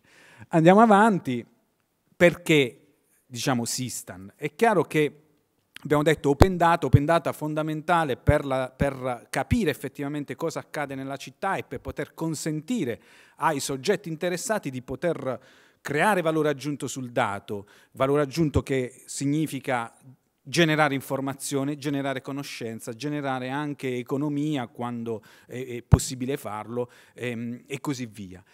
Il Sistan, che cos'è il Sistan? È, è sostanzialmente una rete, una rete di, di uffici di statistica della pubblica amministrazione. Ci troviamo dentro eh, i comuni, ci troviamo dentro le regioni, gli enti locali in generale, in senso lato, enti, eh, la pubblica amministrazione centrale e, e quant'altro. Perché diventa strategicamente importante? Perché di fatto il Sistan, gli uffici di statistica operano, hanno sempre operato guardando al territorio, guardando a quello che accade nei territori di riferimento. Non a caso, ad esempio, le regioni rilasciano ogni anno gli annuari statistici regionali, i comuni fanno altrettanto, tanti comuni fanno, fanno altrettanto per raccontare effettivamente che cosa accade nei territori. In realtà un ente Sistan ha un quid in più che sostanzialmente è la possibilità di, di generare essa stessa eh, informazione eh, statistica, dati statistici eh, ha la possibilità sostanzialmente di ampliare l'offerta informativa sul territorio semplicemente perché un ente Sistan ha la possibilità di accedere ai file di microdati Istat per poter effettuare nuove elaborazioni. Vi faccio un esempio un, il comune di eh, Riva del Garda, voglio dire, piuttosto che di, di, Trento o quello che volete, ha la possibilità di accedere ai file di microdati, quindi significa il, la, le singole risposte di ogni singolo rispondente del censimento per calcolare nuovi indicatori, ad esempio sul, a livello di sezione di censimento per il proprio territorio. Questo che cosa significa? Significa che il Sistan diventa uno snodo cruciale per ricalibrare l'offerta informativa nei confronti della pubblica amministrazione stessa locale, delle aziende del territorio e di quelli che ovviamente sono i city users. Qua uso una, una, una, diciamo una definizione di eh, Michele Vianello che a me piace molto, il fatto che noi non ci rivolgiamo ai cittadini ma ci rivolgiamo a, a chi utilizza la città e quindi sostanzialmente agli studenti fuori sede piuttosto che ai turisti, piuttosto che ai pendolari che la mattina arrivano, usano la città e poi a fine lavoro rientrano a, a casa. Parlando, poco fa è stato parlato delle, delle, linee guida per la valorizzazione del patrimonio informativo pubblico della pubblica amministrazione, ho avuto l'onore di partecipare a, a definirle eh, e, e, l'ufficio di statistica è qui, è scritto lì e, viene ribadito ancora una volta il, il ruolo del Sistan come un anello importante nell'intera catena degli open data, sia per promuovere nuove tipologie di dataset, sia nel validare dal punto di vista metodologico e statistico i dati pubblicati. Di che stiamo parlando? Stiamo parlando di qualità del dato. Questo l'ho messa per pubblicità, eh? questo è Sistan IT e il, il sito. Stiamo parlando di qualità del dato. Qualità del dato, questo qui è la qualità del dato, nel senso che il, il Sistan è un network dove eh, produrre dati di qualità diventa una elemento chiave in tutto il processo di produzione statistica. Non soltanto dati, produzione di dati di qualità, ma anche attenzione alla qualità dei processi che generano quei dati. E per questo, per questo vediamo qua, nasce un progetto che va sotto il nome di Sistanab. Abbiamo fatto un paio di, di, di, di incontri preliminari, però sostanzialmente la, la, la, cosa è partita. L'aveva annunciato Giovannini eh, quando era ancora Presidente dell'Istat alla conferenza nazionale di statistica del febbraio del 2013 come eh, progetto strategico dell'Istat. Si tratta in sostanza di eh, mettere in rete la produzione dei eh, dati di ogni singolo ente uh, Sistan, di chi ci sta uh, ovviamente, di, eh, che viene visto come un nodo, quindi un nodo cui, attraverso cui eh, vengono eh, resi pubblici, vengono resi disponibili dataset strutturati, quindi con una forte modellazione sulla parte dati, ma soprattutto sulla parte metadati, quindi ci, eh, ci eh, colleghiamo sostanzialmente alla, a, a, un discorso che va nella direzione dell'interoperabilità dei dati, quindi quando la, la modellazione è spinta verso, verso, verso metadati standard di riferimento eh, no, ci sarà un nodo centrale che in realtà sarà l'entry point di tutta l'informazione prodotta eh, dagli enti Sistan, che quindi sarà un'informazione di qualità, probabilmente si, eh, sarà lo strumento che tenderà a normalizzare ad armonizzare i dati da loro, perché, perché al momento ognuno diciamo, eh, procede come meglio crede, quindi anche diciamo, dati simili in realtà hanno eh, nomi diversi perché non c'è nessun tipo di um, piattaforma sostanzialmente che consente di, di, di, guidare le scelte fatte da ogni singola amministrazione.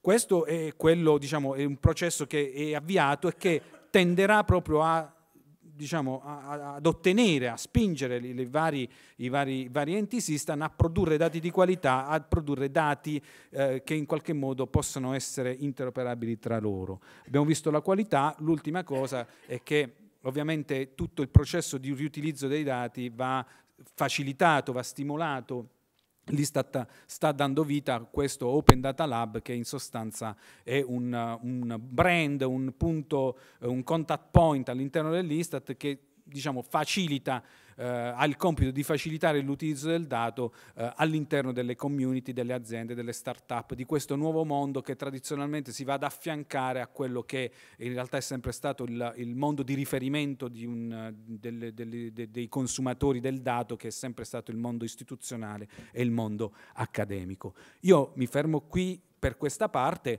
eh, questi sono i miei riferimenti, eh, mi aggancio un po' sulla, sulla, sulla, sulla parte del, di, di, di, di, Baldacci. In realtà volevo sottolineare due cose. Um, ve le faccio vedere eh, qua, ve le faccio vedere. Um, ve le faccio vedere qua, che sono sostanzialmente, che sono sostanzialmente queste.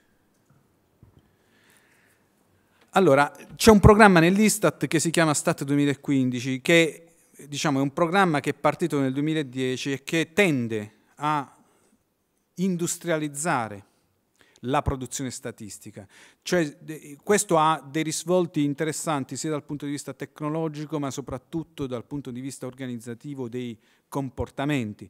Mentre prima diciamo, ogni eh, produttore, ogni settore di produzione eh, sovrintendeva, se vogliamo, la produzione del dato dal disegno dell'indagine fino alla diffusione, ehm, il, il Stato, attraverso Stato 2015 si cerca invece di ottimizzare, razionalizzare, quindi andare ad eliminare le disottimizzazioni in termini di piattaforme di riferimento, in termini di, di, di, di skill che vengono eh, impiegati all'interno dei, dei, vari processi di produzione per poter non solo generare risparmi, ma ovviamente aumentare eh, la tempestività di rilascio del dato, la qualità del rilascio del dato, la qualità dei processi che generano eh, quei dati.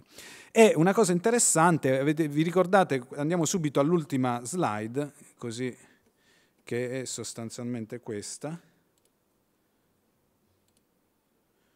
che è sostanzialmente questa, che vi racconta un'altra storia. Avete visto nella prima, nella, nella, nella, primo, nella seconda slide abbiamo parlato di organic data uh, e, e design data. È chiaro che eh, l'Istat non produrrà mai ovviamente organic data, però quello che si sta guardando adesso è pensare di poter utilizzare questo tipo di dati, che una delle denominazioni è big data, per poter generare poi di fatto uh, uh, design data. O quantomeno per poter correggere eh, design, i, i, dati del, insomma, designed eh, eh, all'interno di piccole aree. I dati organic, i dati big in realtà hanno un, diciamo, una caratteristica che è quella della eh, low density, quindi noi ce l'abbiamo in un punto, però poi attorno non sappiamo, non abbiamo una copertura dire, nazionale come può essere il dato disegnato del censimento o del dato amministrativo o quant'altro. Però questo può essere interessante proprio all'interno di piccole aree per andare a correggere, per andare a capire effettivamente che cosa accade. Mm, esempi, ce ne sono diversi, per esempio ehm, non so, l'accesso al roaming de, de, de, dei, eh, dei, cellulari, alle, alle, operazioni di roaming, per esempio ci può dire come si spostano, da dove vengono so, la, i turisti stranieri in Italia, per esempio, o diciamo, gli stranieri in generale in Italia, piuttosto che eh, immaginare altri tipi di di cose. Una cosa su cui l'Istat sta lavorando assieme ad Eurostat è immaginare questo e poi ehm, concludo. Um, voi sapete che l'Istat rilascia so, l'indice dei prezzi al consumo. Il vecchio modello, di, di, il vecchio impianto metodologico che, prevede che i dati vengono rilevati presso i, sostanzialmente i, i negozi. Quindi non so quanto costa il computer, quanto costa la bottiglia di amaro, eccetera, eccetera. È chiaro che, voglio dire, in un periodo, in un'epoca di abbondanza, in un'era di abbondanza di dati come quella attuale, probabilmente non ha molto senso andare a vedere quanto costa qualcosa nel negozio. Posso benissimo immaginare di prenderlo ad esempio su internet. Questo è quello che sta, si sta facendo proprio sull'indagine dei prezzi um, a livello europeo con um, lo sviluppo di sistemi di web scraping che vanno ad acchiappare un po' i dati che, di interesse per poter generare, immaginare um, questo tipo di, di analisi dal web e poi effettivamente capire se questo tipo di metodologia può essere sovrapponibile con quella, con quella passata. Immaginate una cosa del genere, è chiaro che eh, avremmo una, diciamo, un modo agile, se vogliamo, di poter eh, ottenere dati e ovviamente molto meno costoso del, del, dell'indagine tradizionale. Non vi nascondo che eh, fare un'indagine eh, diciamo, di tipo tradizionale, un'indagine campionaria, voglio dire, è, molto, è, un'operazione veramente molto costosa. Quindi è chiaro che in, in una visione a breve, medio periodo, di fatto eh, quello che accadrà e che sta già accadendo è vedere effettivamente che cosa eh, la tecnologia, il sistema, il mondo ci mette a disposizione da per poter utilizzare, eh, per poter andare a misurare, continuare a misurare fenomeni in modo sempre più eh, accurato e preciso in porzioni di territorio sempre più piccole e soprattutto con tempestività sempre maggiori, perché adesso abbiamo bisogno di dati di, di oggi, i dati di, di, oggi che ci raccontano quello che sta accadendo nei nostri territori in real time o in near real time. Io finisco, vi ringrazio dell'attenzione. Grazie Vincenzo.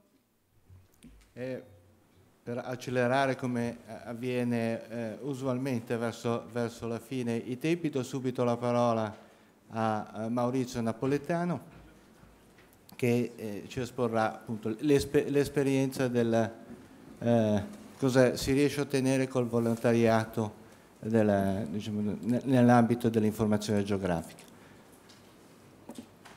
Prego Maurizio. Eccomi qua. Salve a tutti.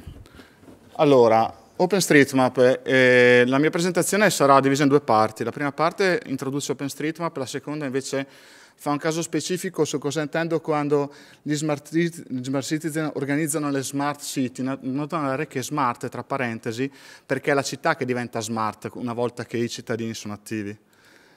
Allora, OpenStreetMap, se uno va sul sito si trova questa cosa qua, l'informazione più bella che secondo me uno scopre è la wikimappa libera del mondo e soprattutto la parola modifica. Infatti OpenStreetMap è quello che vedete, una mappa libera, modificabile all'intero pianeta e la frase che mi piace in assoluto di più è è fatta da persone come te. E ha delle analogie con quello che è Wikipedia, quindi ciascuno di noi può contribuire per, per creare la mappa di OpenStreetMap. La storia di OpenStreetMap nasce in Inghilterra nel 2005. Nel 2006, visto questo grandissimo interesse intorno al progetto, si è deciso di creare una fondazione.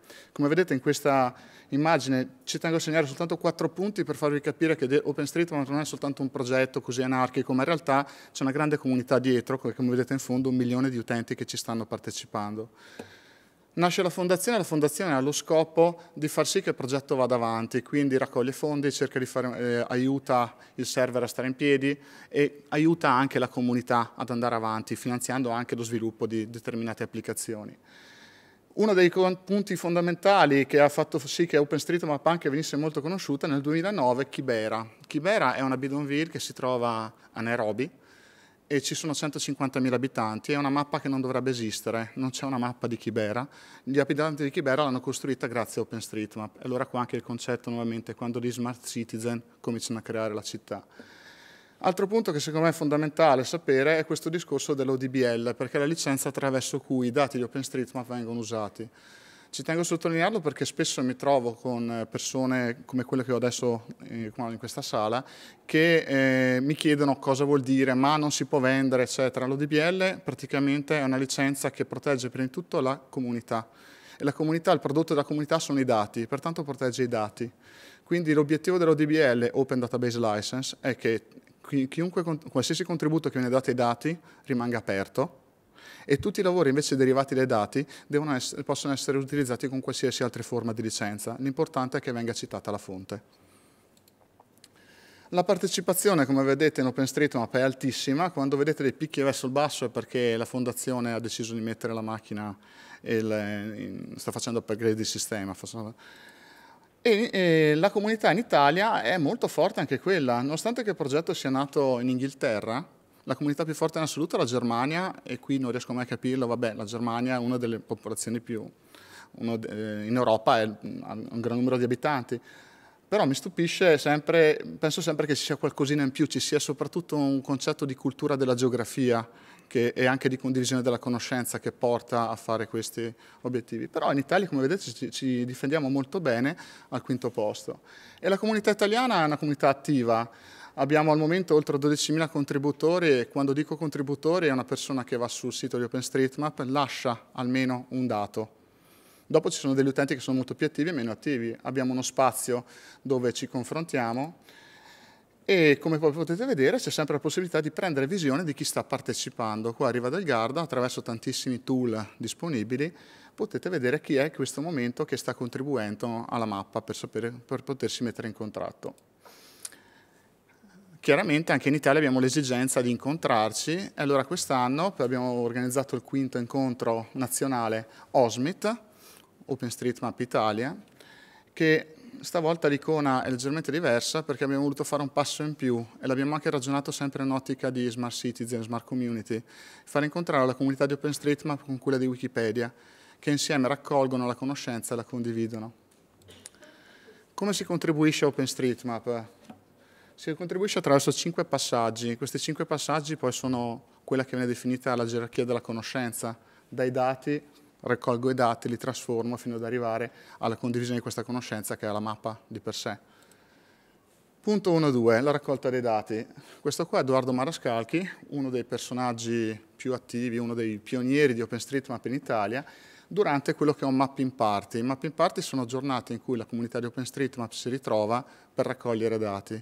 Prima Vincenzo diceva i numeri civici sono lì, no? chiaramente è un gran lavoro da fare, ma sono lì così come sono lì i lampioni, le strade, altre informazioni, se non riusciamo ad averli li andiamo a raccogliere e li mettiamo condivisi con tutti.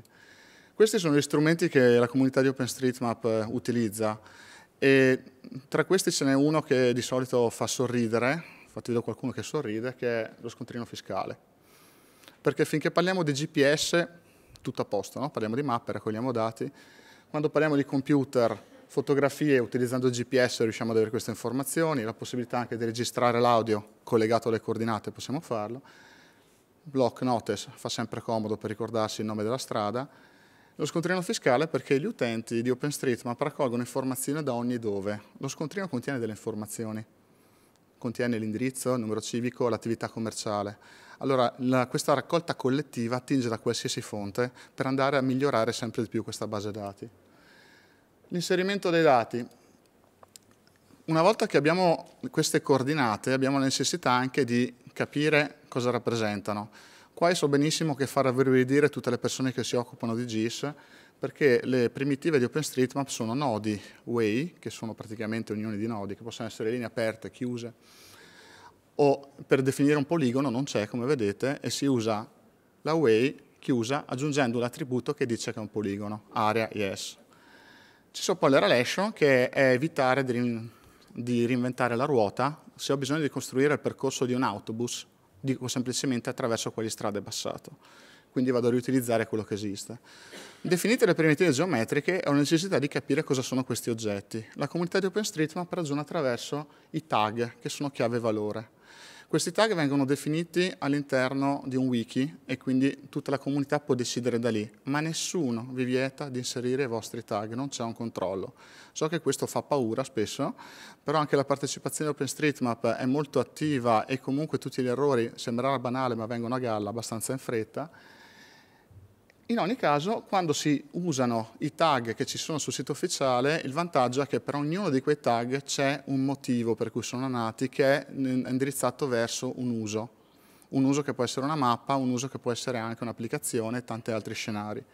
Questo qua è il caso delle, della chiave trasporto pubblico. La comunità dichiara che è una chiave trasporto pubblico che può avere valori di piattaforma, stazione, fermata, eccetera vi spiega cosa si intende e quali sono le immagini con cui si fa riferimento di questa cosa, cosa stiamo andando a descrivere. Ogni tag poi a sua volta può essere arricchito con ulteriori tag, quindi la fermata dell'autobus può avere un nome, può avere anche la tabella degli orari e vengono inserite tutte queste altre informazioni.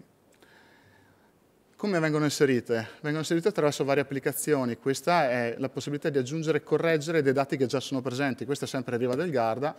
Qua ho preso il lago e qua posso andare ad aggiungere tutte le informazioni che mi interessano, anche come il nome di quel lago ha in diversi... Lago di Garda è secondo diverse lingue.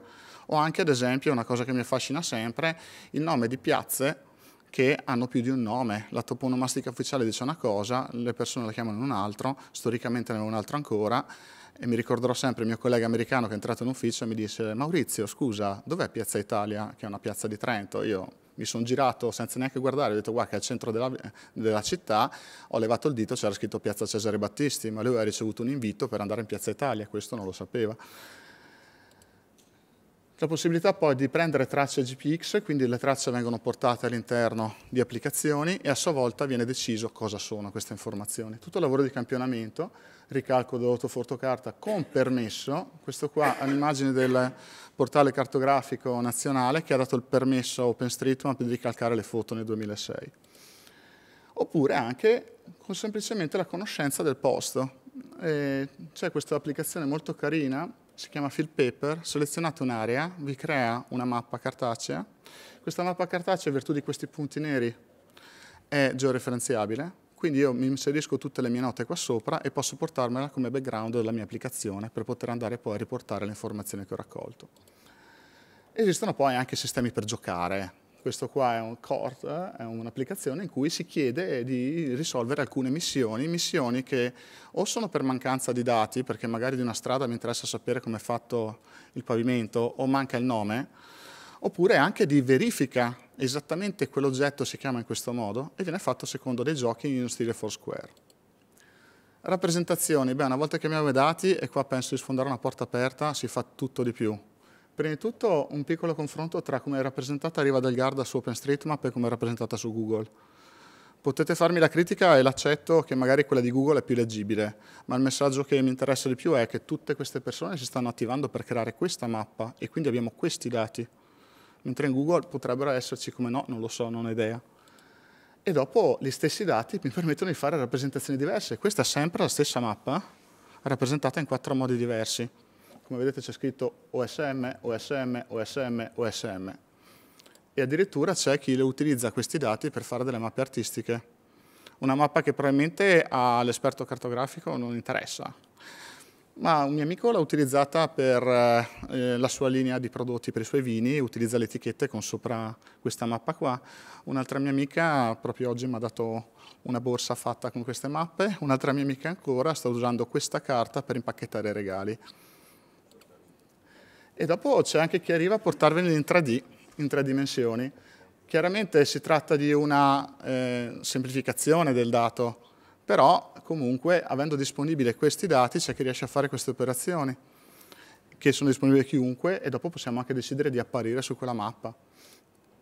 E poi tantissime altre applicazioni, anche qui penso che possiamo sfondare una porta aperta da sistemi per la navigazione assistita online, offline, a sistemi per poter creare mappe di orienteering, sistemi per creare delle mappe cartacee in cui ho una mappa, la griglia sopra e sotto lo stradario in cui se cerco una via C4, B2 avanti di questo passo, oppure per crearmi percorsi di montagna. La fantasia non ha limite dentro OpenStreetMap.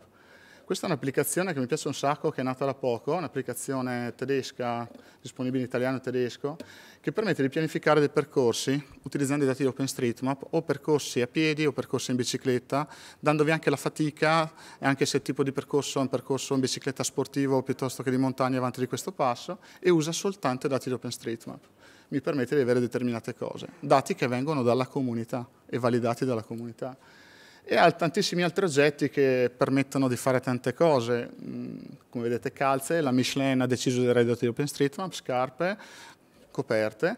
Questo ci tengo a sottolinearlo perché la provincia di Udine ha finanziato un progetto per un roadbook, roadbook ciclistico con i dati di OpenStreetMap in cui le mappe sono quelle di OpenStreetMap, utilizza per lo sfumato il modello digitale del terreno dello Friuli Venezia Giulia e a fianco ci sono i racconti e fotografie raccolte dalla comunità di OpenStreetMap e hanno finanziato questa guida che viene distribuita dall'azienda provinciale. Adesso vediamo un esempio proprio preciso di quando gli Smart Lucani organizzano la Smart Matera. Matera è, si è candidata a Capitale della Cultura per il 2019 una persona di Matera, del comitato di Matera 2019, è venuta a Trento, a Rovereto, scusatemi, durante Osmit, a presentare la candidatura per portare l'evento Osmit a Matera. Loro però hanno detto, però noi di OpenStreetMap non è che ne sappiamo tanto, però stiamo a prendere i nostri dati, che rientra anche in quello che è la candidatura per Matera come capitale della cultura. Stiamo prendendo i nostri dati e ci piacerebbe anche capire come usare questi dati e il nostro know-how per arricchire la mappa di OpenStreetMap. Quindi mi hanno invitato a Matera il 21 ottobre per spiegare cos'è OpenStreetMap. Questa era Matera nel 2008 su OpenStreetMap, Matera nel 2009, Matera nel 2010, Matera 2011, Matera 2012, Matera 2013. Ma soprattutto l'evoluzione massima è venuta tra il 21 di ottobre e il 5 di novembre dopo che sono stato lì. Infatti, se guardate, stanno aumentando tantissimo le informazioni. Torno un attimo indietro perché sono andato veloce. I dati che vedete, alcuni sono dati che vengono dal portale dei dati aperti del comune, altri sono dati che ha inserito la comunità. Per me è stato un momento molto bello quando è stato un workshop di due giorni. Il primo giorno ho parlato per tre ore spiegando cos'è OpenStreetMap. Il secondo giorno mi sono trovato con delle persone, il numero era più o meno come quelli presenti qua, e abbiamo fatto assieme delle modifiche e, c'era la mappa che praticamente era priva di nomi delle strade e le persone che erano in mezzo che erano in sala mi dicevano come correggere, qual era la direzione di marcia, come era il pavimento, sul know-how che avevano lì confrontandosi fra di loro. Un po' di dati appunto vengono da lì e l'altra cosa curiosa è che abbiamo scoperto che alcuni dati del comune sono sbagliati. I dati, ad esempio, delle farmacie, abbiamo provato a importarli e appena io ho caricato le farmacie, non essendo io di Matera, per me andavano bene dove stavano, subito le persone che erano in sala mi hanno detto no, non va bene, quella non c'è, quell'altra non c'è e così si è creato un rapporto anche col comune per poter correggere quel dato lì. Questa cosa ha interessato anche la televisione di Matera H24 che in realtà eh, mi hanno detto che si vede sia in Basilicata che in Puglia e poi da lì è partito il gruppo di OpenStreetMap all'interno di Facebook e ci tengo proprio perché, come vedete, mi chiedono alcune cose basilari, vi riporto in discussione, si può mappare in tantissimi modi. Entusiasmo. Che soddisfazione alla fontanella, alla torretta del centro commerciale. Non vado avanti. Qua non riesco a leggerlo bene, comunque sto costruendo il mercato, qua addirittura si è messo a costruire il mercato e voleva sapere come avrebbe, sarebbe apparso in 3D e la comunità subito gli ha dato una risposta su come poteva essere. Dall'entusiasmo poi la crescita è stata esponenziale, c'è un'applicazione per, per OpenStreetMap che si chiama WinMap che permette di identificare i livelli di accessibilità accessibilità per disabili in maniera molto semplice, però è, ci passo, forse ci passo, non ci passo proprio, non lo so. E hanno detto, oh ragazzi, ma stiamo facendo questo gran lavoro, perché non iniziamo anche a raccontare questo problema qua, visto che a Matera, non so se siete stati, comunque non è che sia proprio agibile per tutti. E addirittura poi mi è piaciuto un sacco questo intervento, ragazzi sto mappando, c'è questa cosa qua che dovrebbe essere sottoterra, è apparsa fuori, ho sbagliato qualcosa, ma soprattutto eh, questo ha detto, mi ricordo perfettamente sotto la scalinata c'era una porta, non mi posso sbagliare perché qualche bravo materano ci aveva buttato davanti un paio di buste di immondizia e avanti di questo passo. Queste persone stanno contribuendo a migliorare la mappa di OpenStreetMap, sanno che possono ricevere le applicazioni che vi ho fatto vedere prima, perché mettendo i dati là sopra se li trovano. Adesso c'è un'idea da parte del comune di distribuire la mappa, quella che vi ho detto, la mappa con sopra la, il grigliato, di distribuirlo tramite l'ufficio del turismo. Ma sanno che ci sono tantissime altre possibilità. c'è anche un po' di persone, dato che l'Irica di Bed and Breakfast, che hanno iniziato a costruirsi le loro mappe. Un'altra persona del, dell'ufficio turistico mi ha detto, ma quella cosa che mi hai fatto vedere di Udine, posso farla anch'io? Certo è avanti di questo passo. I contributi, poi la cosa bella è che la comunità di OpenStreetMap ha iniziato a intervenire su OpenStreetMap stesso, questo sbiribizio che tra l'altro io ho pubblicato questa slide questa mattina e mi è arrivato un messaggio alle, sette e mezza sul cellulare che mi diceva guarda che è un errore su una data. Questo ragazzo qua che sta a Casal Monferrato ha lasciato delle note perché in OpenStreetMap potete inserire dati, ma se non siete sicuri potete lasciare delle note che altre persone potranno leggere, ha lasciato delle note e dice ragazzi Sbiribizio ci ha detto che c'è un problema, andiamo a controllare e Sbiribizio ancora che va a chiedere scusa ma qui c'è un altro problema e dopo sono nate tantissime idee perché ci sono un sacco di idee che nascono da associazioni a Matera che vogliono poi prendere forma e hanno capito che potendo uh, creare delle mappe in maniera abbastanza semplice riescono a realizzarle. E allora qua, come vedete, c'è la necessità di, di, utilizzare, di riqualificare le, le, zone urbane per l'agricoltura, qua adesso non riesco a leggere bene, comunque voi leggete meglio di me.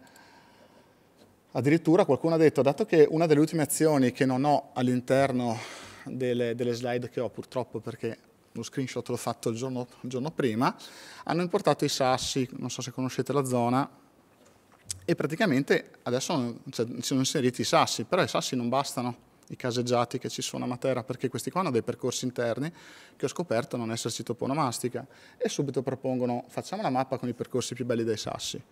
Tra l'altro si sposta questo dal, dal, dal, dal, gruppo Facebook alla community, perché la community che sta spingendo per Matera 2019, quello che sta facendo si, poi, si dà poi delle missioni all'interno della community e questa qua è diventata una delle missioni.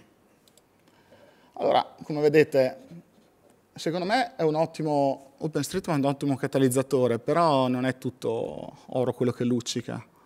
Servono obiettivi comuni, servono eroi, cioè persone che dicono io ci sto, vado avanti, però anche, servono anche qualcuno che abbia un po' di leadership politica, intendo dire queste persone hanno bisogno di incontrarsi, hanno bisogno di infrastruttura e quindi la pubblica amministrazione viene incontro, li può aiutare ma soprattutto ci vuole anche un po' di fortuna eh, su questa cosa qua affinché una comunità parta tutte le volte. Secondo me in questo momento a Matera c'è questo vantaggio che c'è l'obiettivo di diventare capitale della cultura europea, vediamo cosa succederà più avanti, però finché diventa tutto ciò, diventa educazione, se le persone di Matera che hanno contribuito finora hanno imparato questo e riescono poi a migrarlo ad altri, diventa educazione quella di continuare a gestire questi dati e gestire questa mappa. Se poi questa mappa comincia a diventare la mappa che viene usata, quantomeno viene diffusa, allora eh, aumenta il valore aggiunto di questo qua. Io sostengo sempre, e questo Sergio lo sa benissimo, che i geodati sono potentissimi per avvicinare le persone al concetto di open data e per avvicinare anche le persone alla cultura digitale, perché c'è un grosso problema di capire le cose. Io penso sempre che l'informatica, essendo la scienza dell'informazione, l'informazione è un bene di tutti, non dobbiamo subirla, ma dobbiamo capirla. Poi dopo ognuno può capirla senza metterci tanto effort. Quando viene l'idraulico a casa mia, io non so cosa sta facendo, però so cosa vuol dire riparare una lavatrice. No? Alcune volte mi piacerebbe anche capirci un po' di più perché arriva con un cacciavite e, e una spugna me la sistema e dico ma porco cane, dovrebbe essere facile, però non ho tempo per studiare e allora ho i soldi per pagarlo. Beh, insomma, concludo qua, queste qua sono se avete bisogno di contattarmi, ecco qui.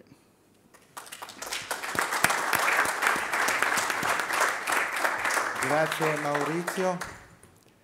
Allora, per l'ultimo intervento eh, invito Nello Iacono che affronterà la, il tema della, della qualità dei dati con un'attenzione al dato geografico.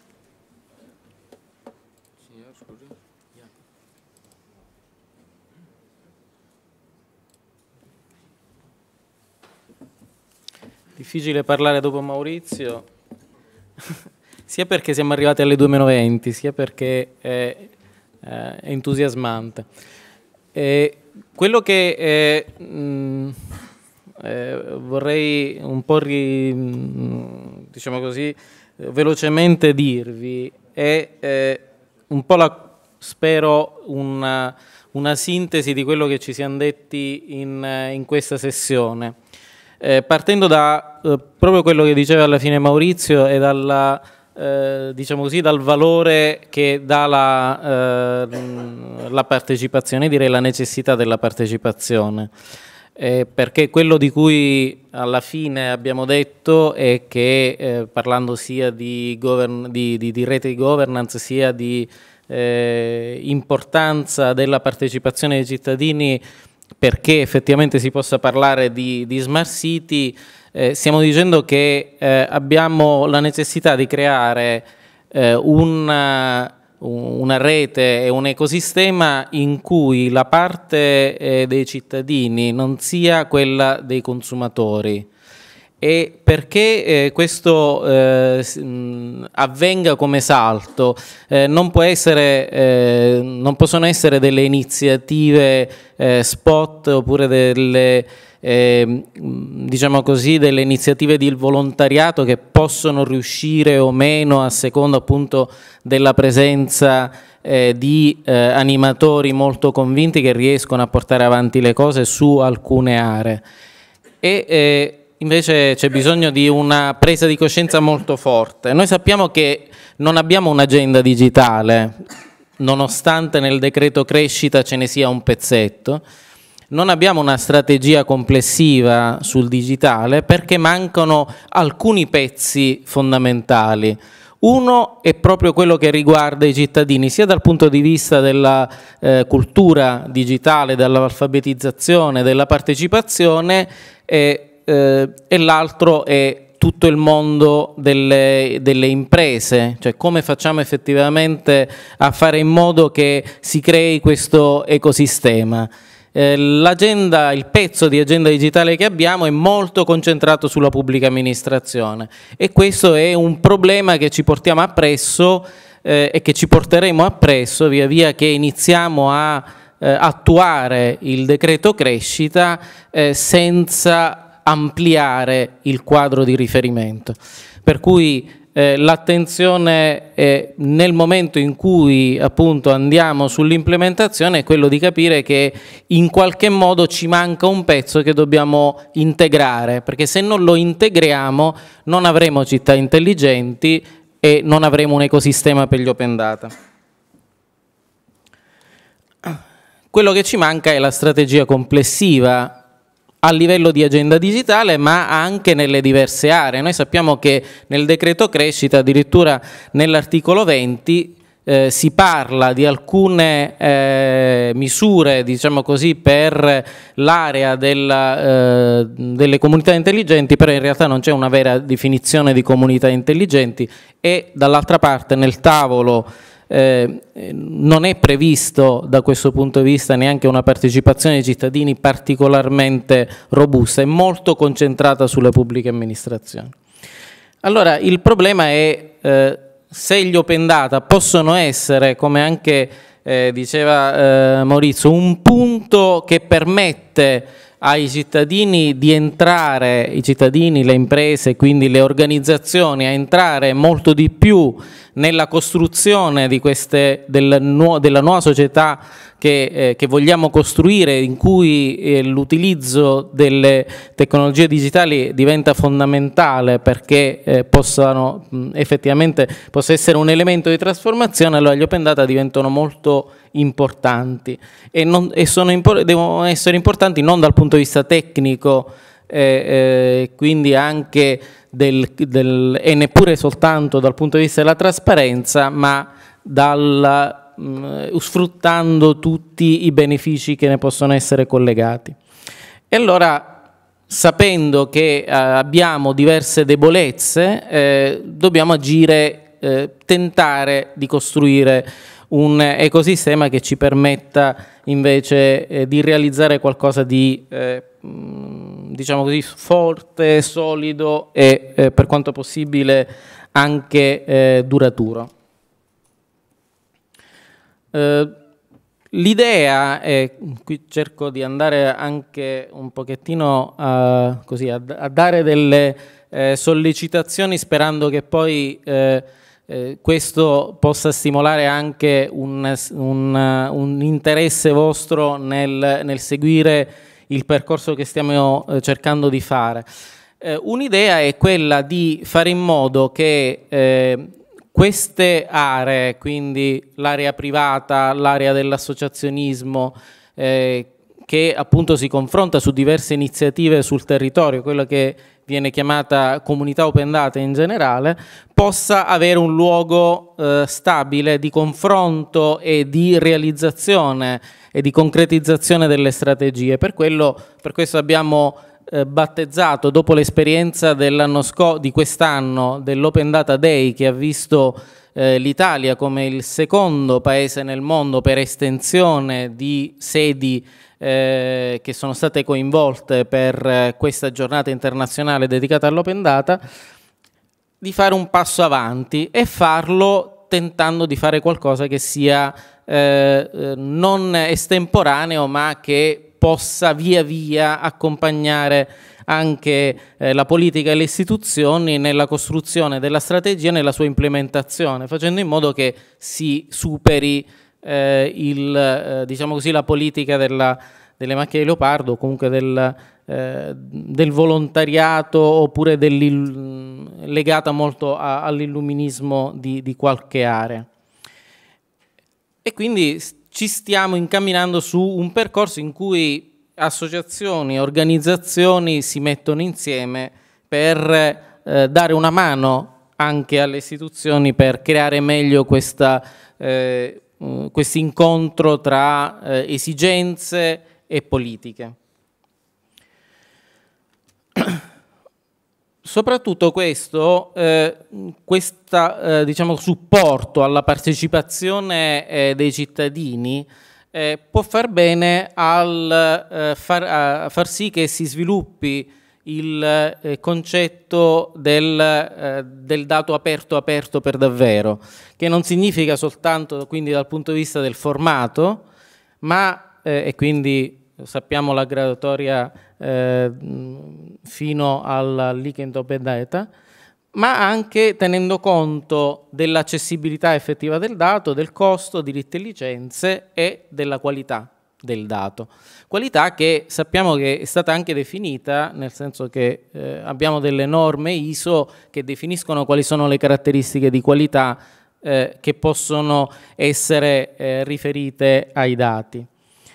Eh, eh, l'utilizzo, il, il, vero utilizzo dei dati dipende dal fatto che noi eh, abbiamo dei dati aperti veramente e se avete visto i risultati dell'Open eh, Data Index eh, dell'Open Knowledge Foundation, così come anche l'Open Data Barometer, sono tutti eh, eh, degli indici che eh, danno una valutazione del come i paesi si stanno muovendo sia dal punto di vista eh, delle politiche, ma poi anche dell'implementazione, dell'impatto nella società, ma guardando non tanto al, e non soltanto al tipo di formato, ma anche a come effettivamente questi dati possono avere un, un utilizzo effettivo e quindi un impatto a livello sociale, economico, all'interno delle, delle, società. L'Italia è messa male ovviamente su queste, su queste aree, ma la cosa che fa, eh, diciamo così, fa riflettere soprattutto è che uno dei punti eh, più critici che abbiamo nel nostro Paese è proprio dal punto di vista delle politiche, quindi dell'impostazione della eh, strategia sul, sul fronte degli, degli open data tutti hanno poi invece problemi a livello di implementazione e di, eh, e di impatto. Eh, sul, eh, faccio un brevissimo eh, excursus sul, sul, qualità perché eh, come eh, diceva anche Maurizio nell'applicazione su OpenStreetMap il concetto di qualità è quello che si coniuga molto di più con la partecipazione dei cittadini.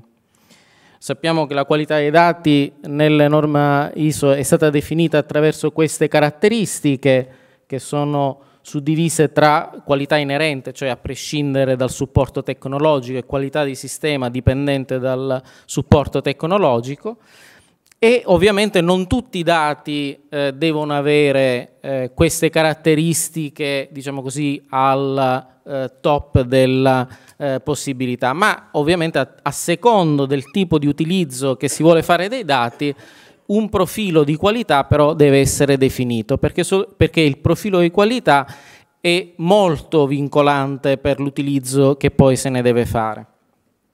Però avere dei profili di qualità elevati non è scontato e non è, non è semplice e è anche costoso. Ed è per questo che eh, non soltanto occorre capire qual è il beneficio che se ne può avere rispetto a quei dati specifici dal punto di vista economico, di impatto, di soddisfazione di servizi che poi possono essere eh, utilizzati, o, ma anche come risvolto, diciamo così, dal punto di vista dell'organizzazione che le produce. eh, la, il, il, concetto quindi è quello che rispetto ai dati che vengono poi utilizzati, vengono portati, bisogna avere un'idea del profilo atteso e dall'altra parte essere capaci di misurare come via via i nostri dati riescono ad avvicinarsi a quel profilo. Questo significa che molto spesso noi potremo anche essere, eh, diciamo così, condotti a poter esporre dei dati, come abbiamo visto anche nel caso dell'OpenStreetMap, che non hanno una qualità eccezionale, però sono molto utili e via via andare a capire come migliorare la qualità di quei dati. Ma per fare questo abbiamo bisogno di eh, un concorso abbastanza eh, organico eh, di, eh, dei tre soggetti eh, in particolare. Sicuramente i cittadini, abbiamo visto come eh, diciamo così, la partecipazione può permettere l'evoluzione della qualità dei dati, I nuovi, i, le imprese che nel momento in cui sono messe in condizione di utilizzarlo hanno, hanno, la possibilità, hanno necessità di dare anche dei feedback da questo punto di vista e ovviamente le pubbliche amministrazioni che non possono vederlo come l'atto finale di eh, messa in, eh, eh diciamo così, sul web di alcuni dati, ma lo devono vedere come il, eh, il, uno spunto per migliorare i propri eh, processi. Da questo punto di vista il eh, feedback all'interno di una strutturazione di progetto Open Data diventa fondamentale perché il feedback su una volta definita la qualità dei dati, il profilo di qualità dei dati che si espongono, il feedback che viene da chi, dal, dai cittadini che lo utilizzano, dalla, dalle imprese, permette di eh, avere una retroazione che aiuta anche a capire via via nell'analisi quali sono i processi che devono essere eh, modificati, devono essere evoluti per permettere che quei dati siano della, della qualità eh, attesa. Questo significa che eh, mentre eh, da un lato abbiamo bisogno di avere un coinvolgimento, un engagement molto eh, orga organizzato, diciamo così, da parte degli utenti e dei riutilizzatori, che diventano quindi eh, non soltanto utenti ma diventano attori protagonisti, dall'altro lato, dall lato abbiamo bisogno di eh, un produttore di dati, spesso sono le amministrazioni, che eh, ragionano in termini di trasformazione dei propri processi, riorganizzazione dei propri processi e governo, perché è logico che eh, il eh, progetto Open Data non, non, non è un progetto eh, one shot, è un progetto di evoluzione.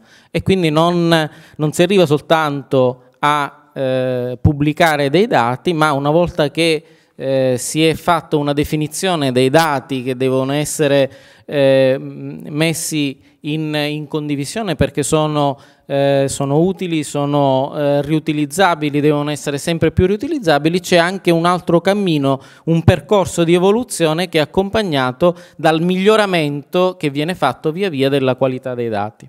Per, fare, per gestire però il, il, feedback che viene dalla verifica degli utenti, dell'utilizzo, eccetera, c'è bisogno anche di un governo dei processi all'interno delle amministrazioni per poter recepire correttamente questi feedback e trasformarli in miglioramenti.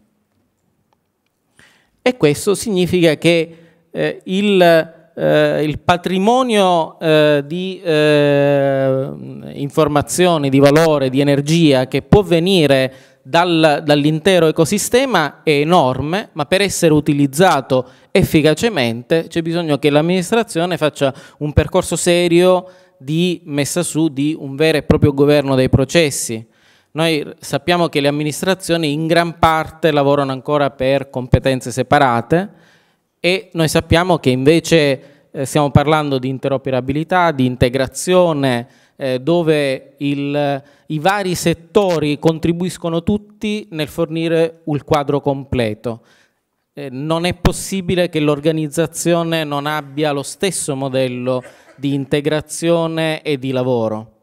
Era quello che si diceva come eh, è, la, è, la, rete che deve essere governata e deve essere governata soltanto per processi, non ci sono altri, altri modi e solo in questo modo si può, fare, si può avere il massimo vantaggio appunto del, dell'utilizzo.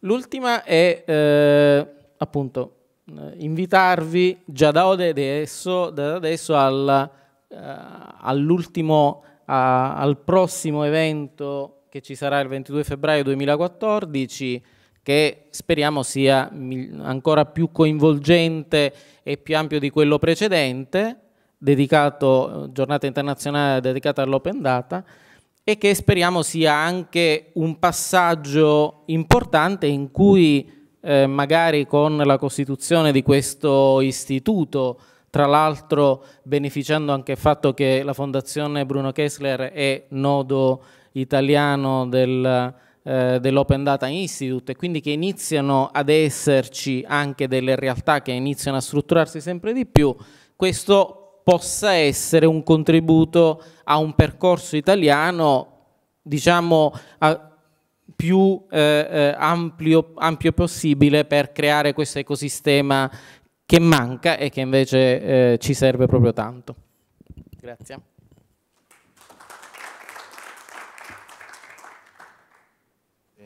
Abbiamo sforato, ma no, non c'è comunque più tempo per, eh, per commenti e eh, invito, invito le, le, persone ancora presenti a catturare eh, i relatori, saranno disponibili per eh, eh, così, eh, primi, primi, contatti. Voi Posso tu? aggiungere una cosa su quella del Sì, vabbè. alzo perché so che c'è il problema del microfono.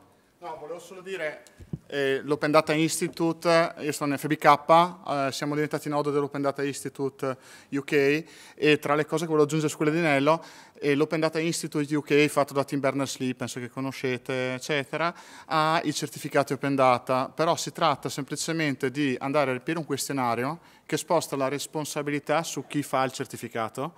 E la cosa interessante di questi certificati è che danno una metodologia su come validare, come pubblicare il dato, su tutti quelli che sono gli aspetti che si porta dietro, sull'aggiornamento, sulla metodologia con cui è stato raccolto, eccetera. E secondo me è un punto molto potente per poter dare maggiore qualità a quello che si espone. Basta Sergio, scusa. No, no, no non devi scusarti, è un, è un peccato, ma questo è il motivo per dire ci saranno sicuramente altre occasioni. Io ringrazio i, i relatori come Asita, ringrazio Stati Generali dell'Innovazione che eh, con il quale abbiamo appunto organizzato questa sessione, ma come prima, prima occasione di collaborazione. Eh, auspichiamo, speriamo eh, che oltre, oltre ad Esita ci, ci sia la partecipazione, il dialogo, la collaborazione con, con altre associazioni, ne cito qualcuna, ma eh, sicuramente ne dimentico altre, GFOS piuttosto che OpenGeodata, piuttosto, piuttosto che Assopass, cui vi ho, vi ho dato l'annuncio del, del, workshop e così via. Ce ne sono onestamente tante, tante altre, credo che eh, Stati Generali dell'Innovazione, proprio perché focalizzata eh, sull'inclusione, la condivisione eh, delle esperienze, come avete visto, sia diciamo, l'ambiente, eh, giusto per contaminarsi, per, per, lavorare insieme ai progetti cui eh, abbiamo assistito eh, oggi le, le presentazioni. Eh, vi lascio appunto con, la, con, la, con il suggerimento di, di, bloccare se avete eh, interesse eh, a fare, fare, degli approfondimenti con i relatori eh, qui presenti e eh, augurandoci di incontrarci anche a breve in altre, in altre occasioni.